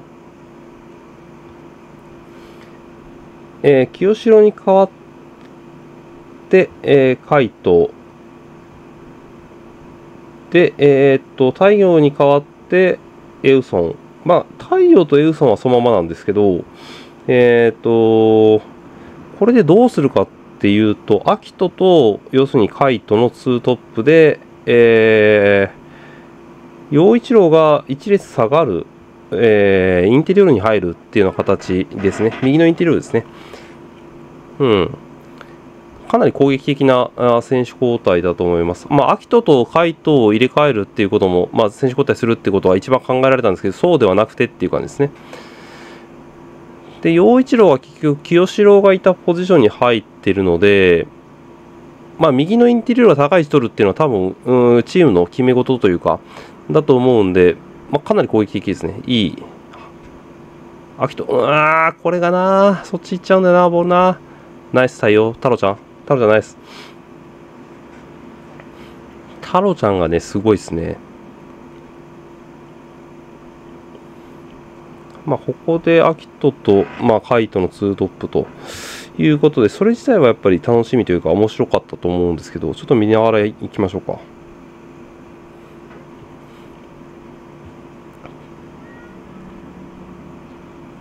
蓮川さん？ああ、5番のセンターバックの選手ね。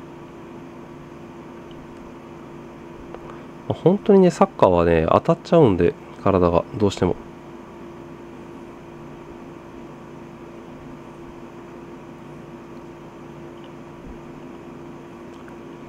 エウソン。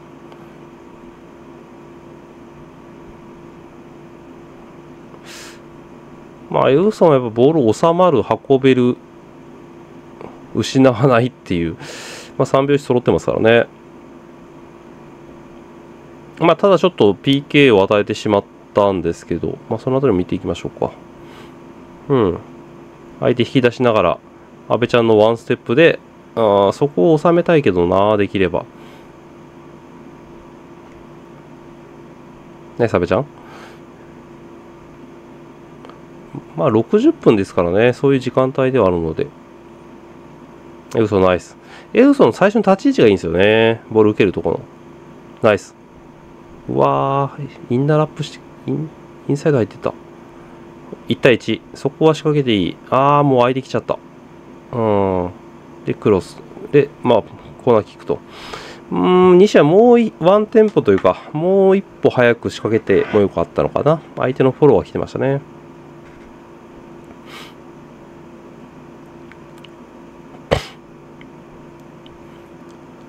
カイトもね、やっぱ悔しかったと思うんですよ、アキトに。スタメンがアキトになったね。まあ、うん。最近点取れてなかったからね、仕方がない部分はあると思いますけど。はい。ああ。エウソンだ、エウソン。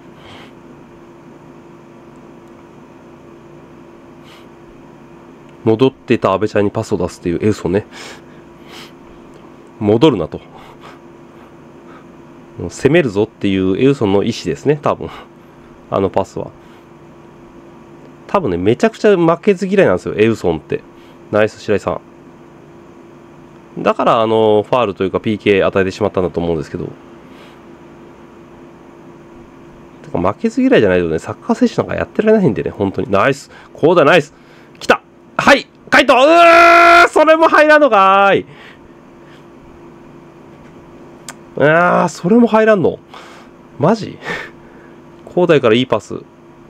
太郎ちゃんがターンして、カイト右足。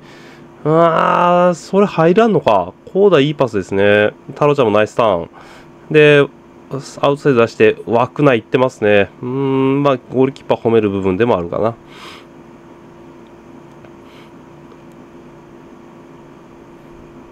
カイト、さ、うん、前半と変えましたね、ちょっと。コーナーキック。いやー、来たうーなんだようわそういうの。ちょん。来たうん。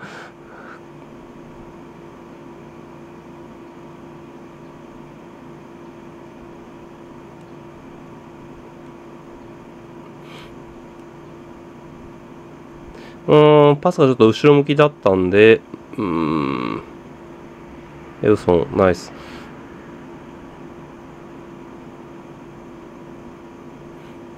ん？りょうはどこ行った？あ、いたいたいたいた。ちょっと合わなかったね、今のパス交換も。慌てない慌てない全然できるって秋とが開いた降りてきてのカイト。で陽一郎とうーんカイトのツートップみたいになってるなやっぱり。太郎ちゃんも右側に多分今いたよね。いるよね。いやうまい。来た。いやーグーカイト。ゴー。うーん、いい展開作れてるななんで点入んないんだ？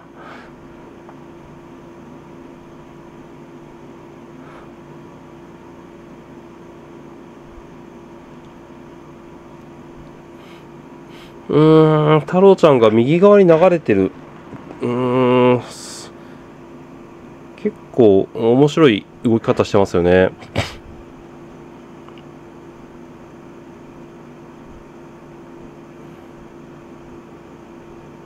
うーん、6番、小林選手、左サイドバックの選手ですね。あー、ここで三平ちゃんが入っていくのね。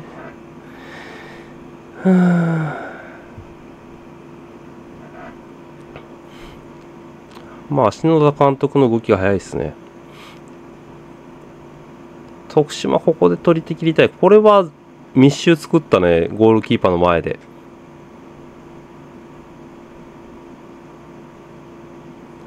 うん。わあ。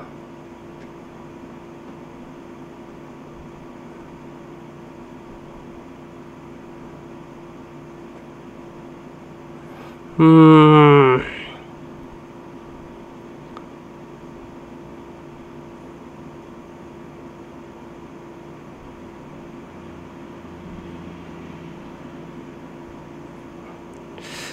まあ、エウソン入って変わってきましたね。で、アキトが自由に動いてますね。どっちかっていうと、右左というよりは。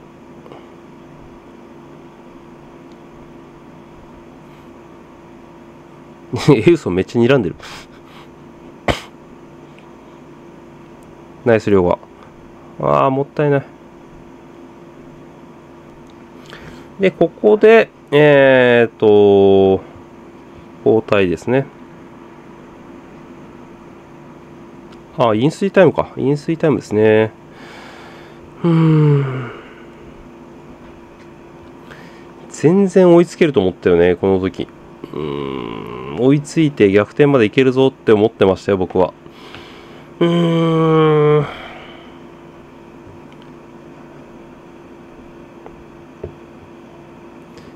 ちょっと、うん、インスタイム、うん、うまいこと使いたかったかな。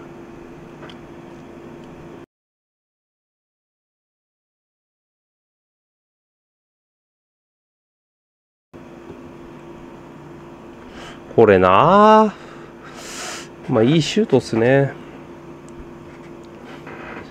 いいとここぼれたよね。涼河のクリアというか当たったやつが。うーん。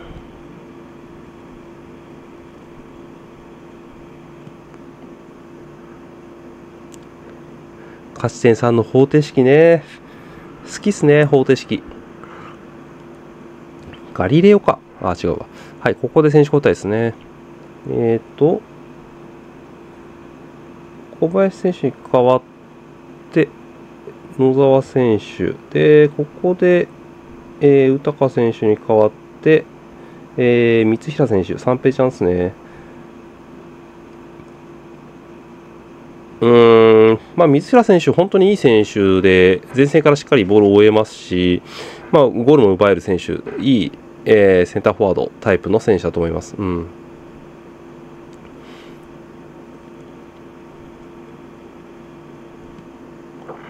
まあ、宇高選手もかなり走っていたので、まあ、ここの辺でって感じですよね。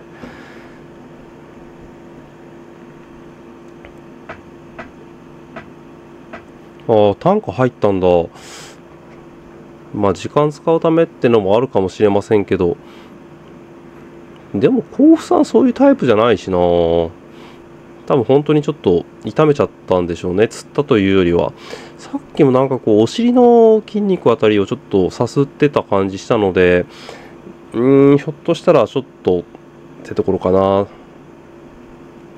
うん、まあ、甲府さんそういう変に時間使うタイプじゃないので、甲府さんも意外と、あの意外と伝えしてですけど、アクシャルプレイングタイム長い方のチームですので、まあ、ボールは持たなくても、そういう変な時間稼ぎみたいなことはしないですね。いいチームだと思います。まあ、天皇杯勝ってますしね、すごいよな。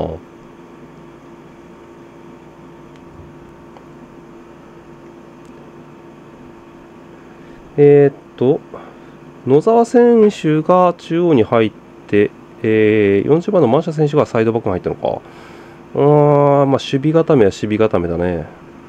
いやー、三平ちゃんすごいね。やっぱ行くね。危ない、ホセ危ね。まあ、それがね、持ち味ですからね、三平選手の。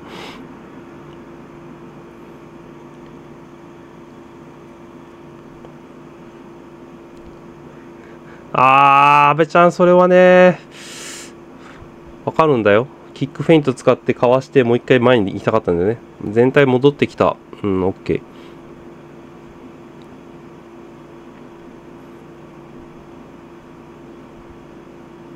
ー。うん、陽一郎まで持ってきたね。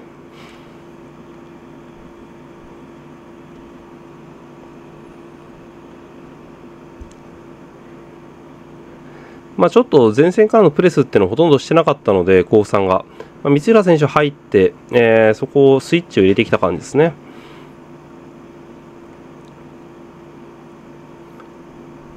ナイス。いや。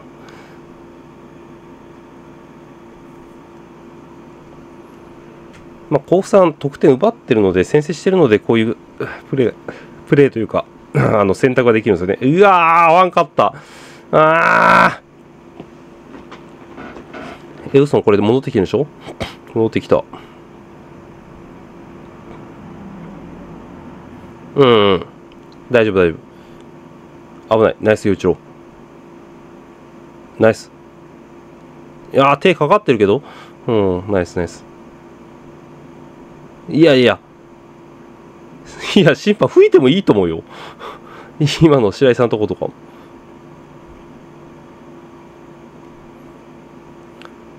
運んでいい、運んでいい。安倍ちゃん、上がれないか。ああ、西矢低い位置にいんのか。ああ、よくないよ、今のパス。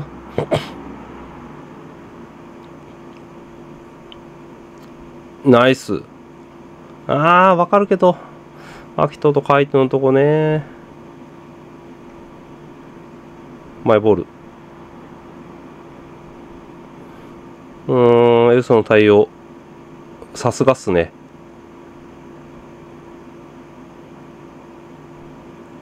今のエイソのプレーも吹かれてもおかしくないな。手かかってたからね。西矢出てきた。いってる。太郎ちゃんいってる。ここがついてこないのか。あー、きつ。ナイス太郎ちゃん。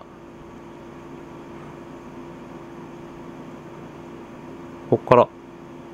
あー、中央は大丈夫。人いる。うん、大丈夫。ナイス、陽一郎。いやー、そこ通らんって西や。うーん。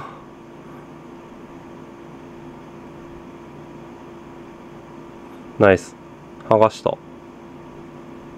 いや、通らんて、それ。うわー、ちょっと縦パス雑だな今の。らしくないな。徳島らしくないな。慌てなくていいんだよ。まあ、確かにね、高3、うん、選手交代でスイッチ入れ直したよね。分かりやすい選手交代ですよね。うん。それに対して徳島はちょっと慌ててる感じはしましたね。まあ、点差もつい、点差というか、まあ、1点負けてるってこともあるとは思うんですけどちょっと縦に急ぎすぎだったかなというふうに思います。ちょっと縦パス、いらない縦パスというか、あの閉まってる、相手が中央に閉まってる状態の縦パスっていうのは多かったかなと思いますね。ちょっとそれで、うん、ペースというか、相手にボールを渡してしまってるので、うん、そこはちょっとあれですね。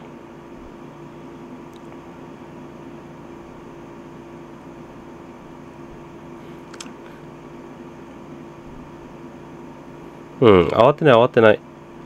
危ない、痛い。アフターですね。うん。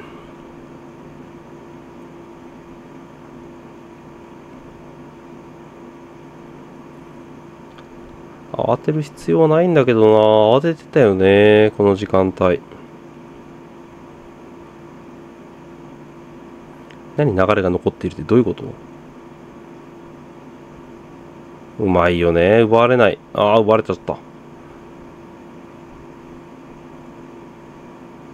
今の三平選手の運び出しもそんな良くないんだよな。あー、これ？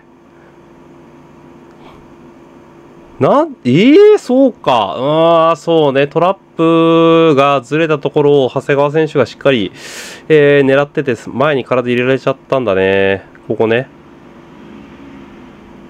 で、手を使ってしまったってところか。微妙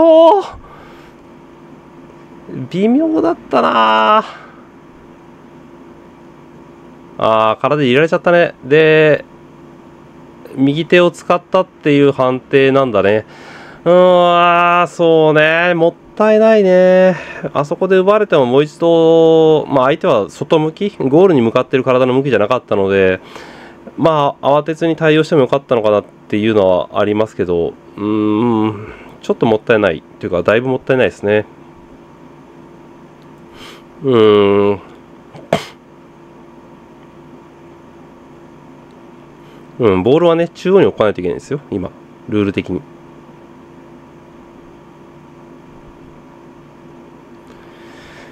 はちょっともったいなかったですね。もったいないというか、まあ、その前がもったいないですよね、エウソンの前。うん、あもうしっかり蹴られましたね。ここでま2点差ということで、まあ、かなり徳島としてはきつくなりました。ただ、残り10分あるので、全然諦める必要なかったんですよね。うーん。まあ、本当にしっかり蹴られたなって感じですね。相手を見てというよりは、しっかりコースに蹴り込むような、うーん、PK だったかなと思います。うん。なの駆け引きというよりは、しっかりとコースに切り込むっていうタイプの、えー、PK ですね。ペナルティキックでしたね。うまかったと思います、長谷川選手。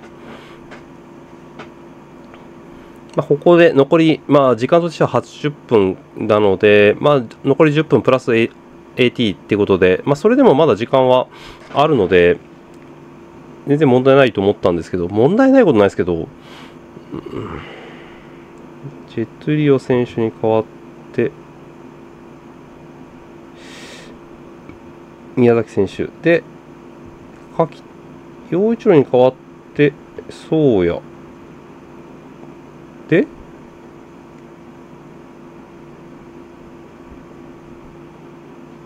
えっ、と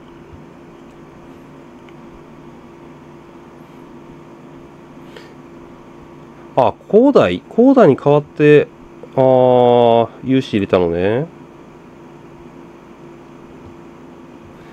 で、まあ、有志が3センターバックの右、右かな？うん、右に入るっていうことで、これでエウソン、イエローか。うーん、もったいないね。まあ、ちょっとイライラしちゃったのかなっていうところですね。ああ、まあ、ボールに、ああ、そうね。アフターというか、うーん。まあ、エウソンはちょっと納得いかないかもね。うん、やっぱ途中から入るってやっぱ難しいんですよね。しかも、0-0じゃなくて、ビハインドから入るとか、ちょっとやっぱ難しいんですよね。特に、えー、基本的にはスタートから入る選手にとっては。まあ、その辺りの、その、メンタル的な部分っていうのはあると思います。もともと、そのエウソなんかはスタメンでずっと出続ける選手なので、まあ、途中で交代することはありますけれども、やっぱスタートから入る選手と、えー、サブで、えー、途中から入る選手ってメンタリティというかメンタル面でやっぱ難しいんですよね。うん。まあ、その辺りでちょっと難しい部分が出ちゃったかなって感じです。で、これ、勇姿をセンターバックの右に入れて、多分長いボールも織り交ぜながら行きたかったのかな。高台もそんな悪くなかったんですけど、ちょっといくつかやっぱり、えー、慌てて縦パス差し込んでいることがあったので、その辺りに対してのあれなのかなって気はします。いやー、わかる。ナイス。いった秋田まで行け。ナイスナイスナイス。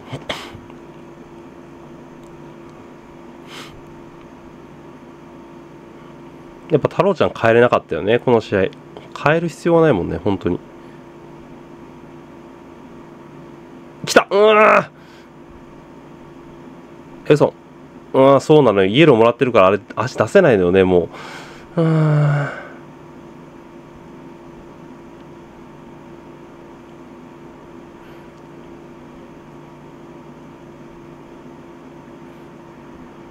ナイスエイソン。うまい。秋と降りて、太郎ちゃん、中央。わあ、いい上がりした、阿部ちゃん。あー、西矢触って欲しかったんじゃないかな。阿部ちゃんは。ラッキー。うーん、西矢今ちょっと触って欲しかったんじゃないかな。阿部ちゃん的にちょっとうまくいかなかったっすね。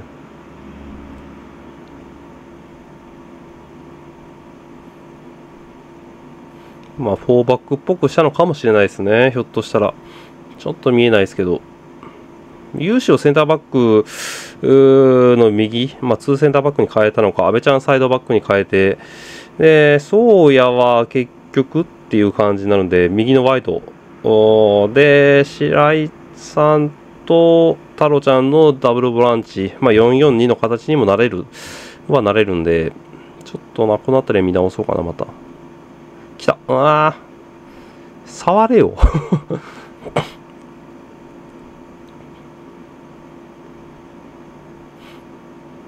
ないない、ないないない。かかったの？うーん。あ、2社がキャプテンマーク巻いてるね。雄一郎下がった時か。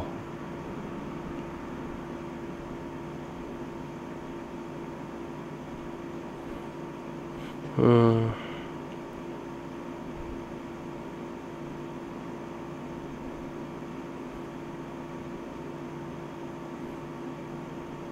うん、まあ、甲府さんもう、うん、攻めなくていいですからね。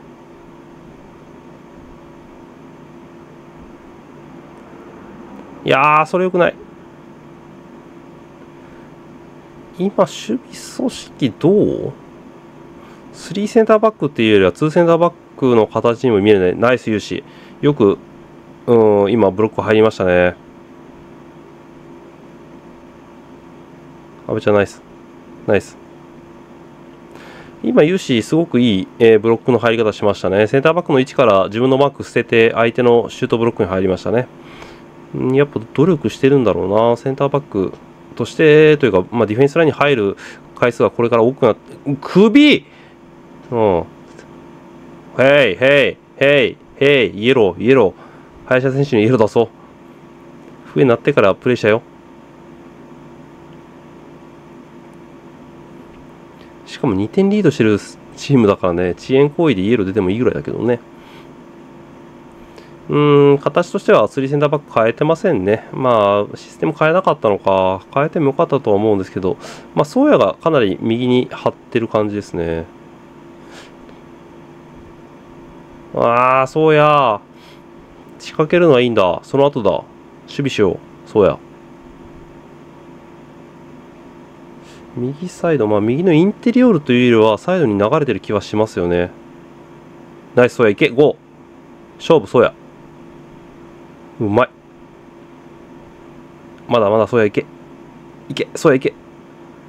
来たうーいややっぱりそうやくんはね、ドリブルさせたらすごいっすね。スペースもう少し与えたいですね、チームとして、そうやに。で、吉川明人と。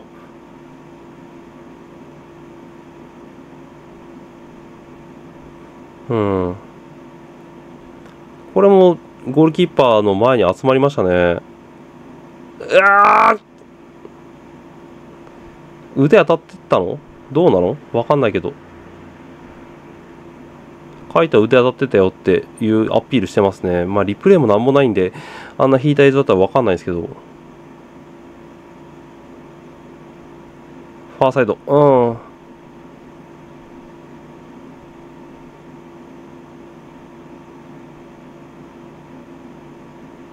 融資、うん、上げなかった。もう一回か、白井さん。うーん。来た。そうや。ナイスエウソン。うまい。そうや。カイトか。めっちゃ余ってる。めっちゃ余ってる。来た。いや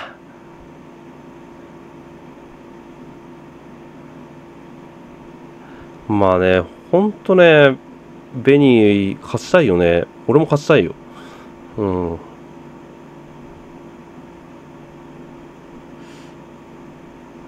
あ、甲府さん5枚にしたのか、後ろ。まあそうだよね。2点差だもんね。うーん。ナイス。ナイス。いや、勇士がうまいことボール循環させたな。ナイス、エウソン。いい縦パス来たよ、そうや。はい、やっていいよ。ナイスあー、手かかっちゃったか。うーん、カイト。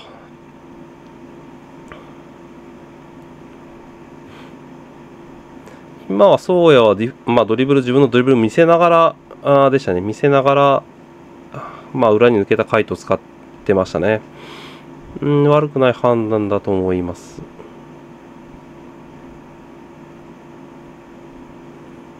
うーん、勝ち点ね。まあそうですね。甲府さん逃げ切り体制ですね。そりゃそうだよ。2点取ってんの。徳島はなんとか2点取らないといけない。最低でもね。っていう状況なんで、エウソンはかなり内側に絞ってプレイしてるな7分まあまあその飲水タイムが入ると長くなりがちなんであとは PK とかあったんでね、まあ、7分ありゃ2点入るだろうって思いましたけどねいけるだろうと思いましたよ僕は。阿部ちゃん来た。はい。ナイス西谷ナイスナイスナイス。ノーファールだよ。秋田まで行った。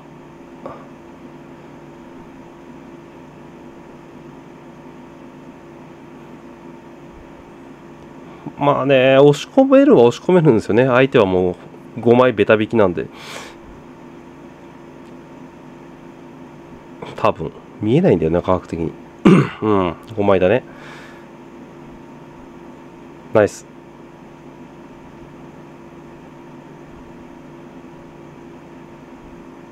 うん、多いな、やっぱり。エウさん剥がして。ナイス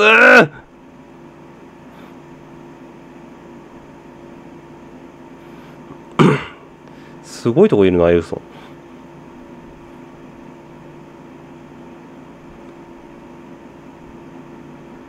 うん、ユーシいいよ、ナイス、ナイス、ナイス。そうやはい、来た。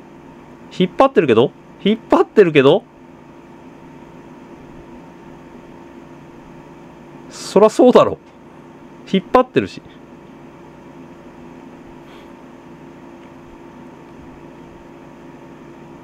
そうや、いいよ。頑張れ。もう守備のことは目をつむる。頑張れ、そうや。この時間帯でこの状況だったら守備のことはもう何も言わない。やるしかない。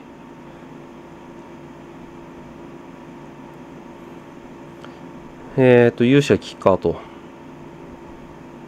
セットプレーですね。ない。来た。来た。あ、来た。うーしよしよしよしよしよしよしよし。まだ時間ある。まだ5分あるぞ。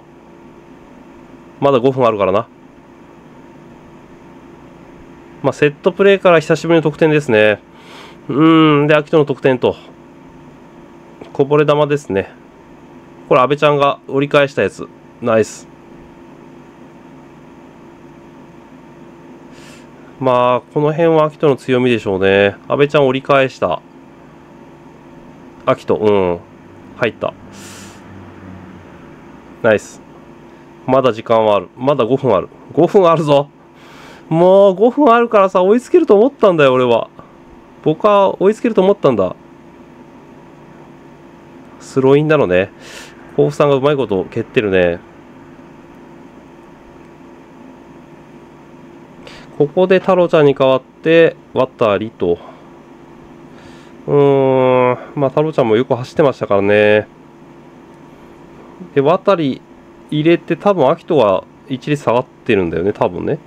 時間短いから分かんないけど。ナイス、渡。ゴー、ゴー、ゴー、カイト、ゴー。行くしかないんだ、カイト。行くしかない。カイト、行くしかない。行ってくれ。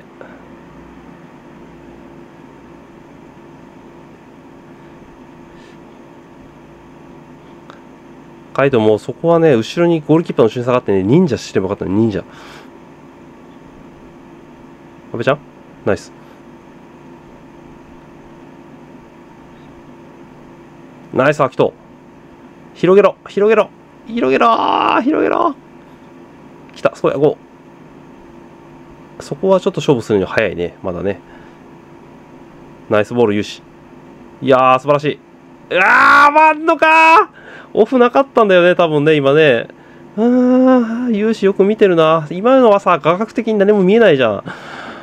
あー、くそ。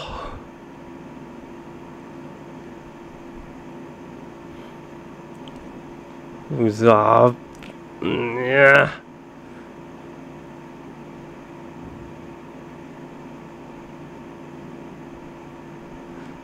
河本さんの声かな？やるよやるよって言ってんのは。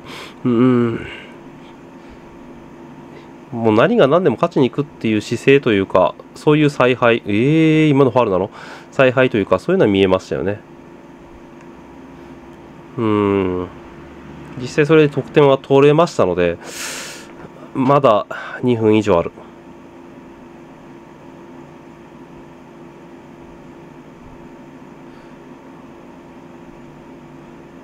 うん。ゴールキーパー出てきて蹴ったのか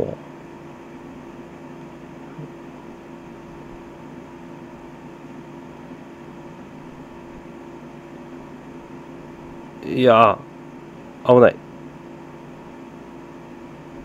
あー、コーナーか。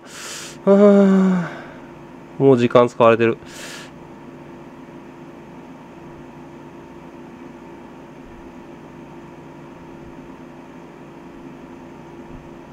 いや寄ってない、寄ってない。近くない、大丈夫。近くないって。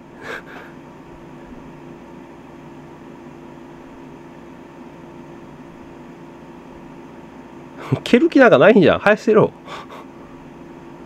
マイボール。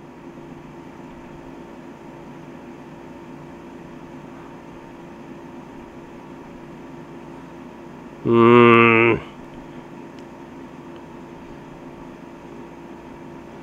もうそうやに残っとけって言ってますね、渡りが。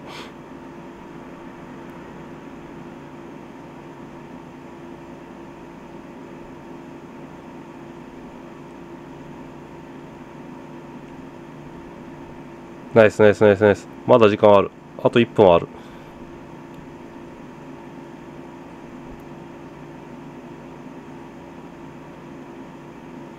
見えないじゃん、そういうシーンがさ、画角。あー、誰もいない。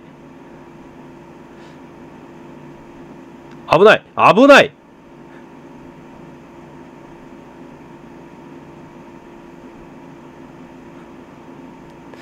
もう、もうやるしかないよ。こんなの。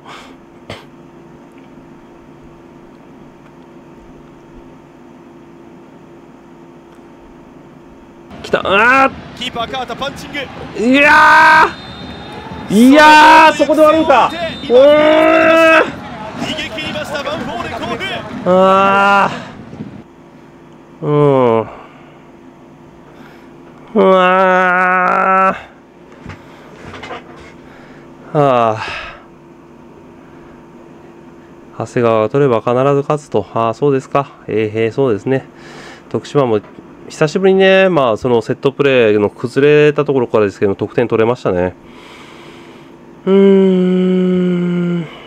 はい、 DAZN の方は切ります。もうううるさいんで。はい。はい、えー、まあ、試合を見直してきました。うん、そうですね。あのーライブで見た時よりは、印象的には前半もそんなに悪くなかったのかなという気はしてます。ただやっぱり、えー得点を奪うところで奪えてないっていうところですかね。まあ、甲府さんが2点取ってますが、えーっと、まあ、決定機っていう決定機っていうのは、甲府さんもじゃあ多く作れたかっていうと、うーん、まあ、作れてた部分もありますけれども、やはり決めきるところはやっぱ決めきってるチームが勝ったって感じですかね。まあ、PK はちょっと与え方が、まあ、もったいなかったかなっていうところはあるんですけれども、そのあたりはやっぱりエウソンはやっぱスタートから使うべきだというふうなことも思います。メンタル的な部分も含めて。うん。っていうところで、まあ、実際なかなか、まあ、勝ててなくて、ホームでも勝ててなくて、えー、とフラストレーションが溜まっていると思います。僕も正直、ライブ見た後、ライブで試合見たとき、すぐ寝ましたからね、もうあんまりイライラするのも嫌だったんで、まあ、すぐ寝て、えー切り替えて、まあ、翌日ちょっと早い時間にトレーニングがあったので、まあ、その関係もあるんですけれども、もうすぐ寝て、まあ、切り替えて、また試合を見直すってことをしました。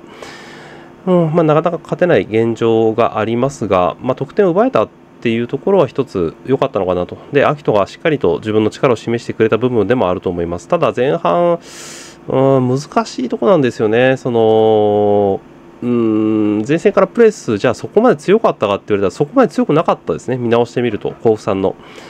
そんな中でもう少しうまく運べるというところをもっと突き詰めるべきだっていうところと、あとはやっぱり枚数前線から当てられているってことは、背後、相手のディフェンスラインっていうのは、まあ、徳島の同数になっていることが多いはずなので、そこに対してのフォワードの動き出し、まあ、これ画面で見えないんで、わかんない、まあ、僕は何とも言えない部分ではあるんですけれども、もっともっと積み突き詰めていくところをがいっぱいあります、今現状。うん。チームとして良くなってきてるとは僕はずっと思ってます。うん、悪くなってると思ったことは一度もないです。ただ、現状、その勝ち点としてうまくいってない、えーっていう結果がつい、結果になってしまっている、うん、っていうところで、まあ現状打破するためにどうするかっていうと、やっぱり続けていくしかないかなというふうに思います。まあ続けていく上で、まあどこを重点的にするか、どういうふうにやっていくかっていうのはまた監督の采配とか器量というか、まあ、マネジメントの部分なんで、またそのあたりを期待しつつ、これ今後は、えっ、と、連戦っていうのはないので、えーしっかりとチームを成熟させていく。まあ、もう遅いよと。20何節、26節まで終わって、20、ん ?27 節か、まで終わって、えーあと15節、15試合しかないっていうのは分かりますけれども、うん、ただ、うん、やっていくしかないんで、やっていきましょう。みんなでまた頑張っていきましょう。うん。はい。じゃあ、独り言の方はこの辺で終わろうと思います。まあ、場面使った解説では、うまくいってた部分、うまくいかなかった部分っていうのを、まあ、やろうかなというふうに思ってますので、まあ、場面使った解説の方も覗いていただければ幸いです。はい。では、独り言はこの辺りで、うん、さようなら。ああ、勝ちたい。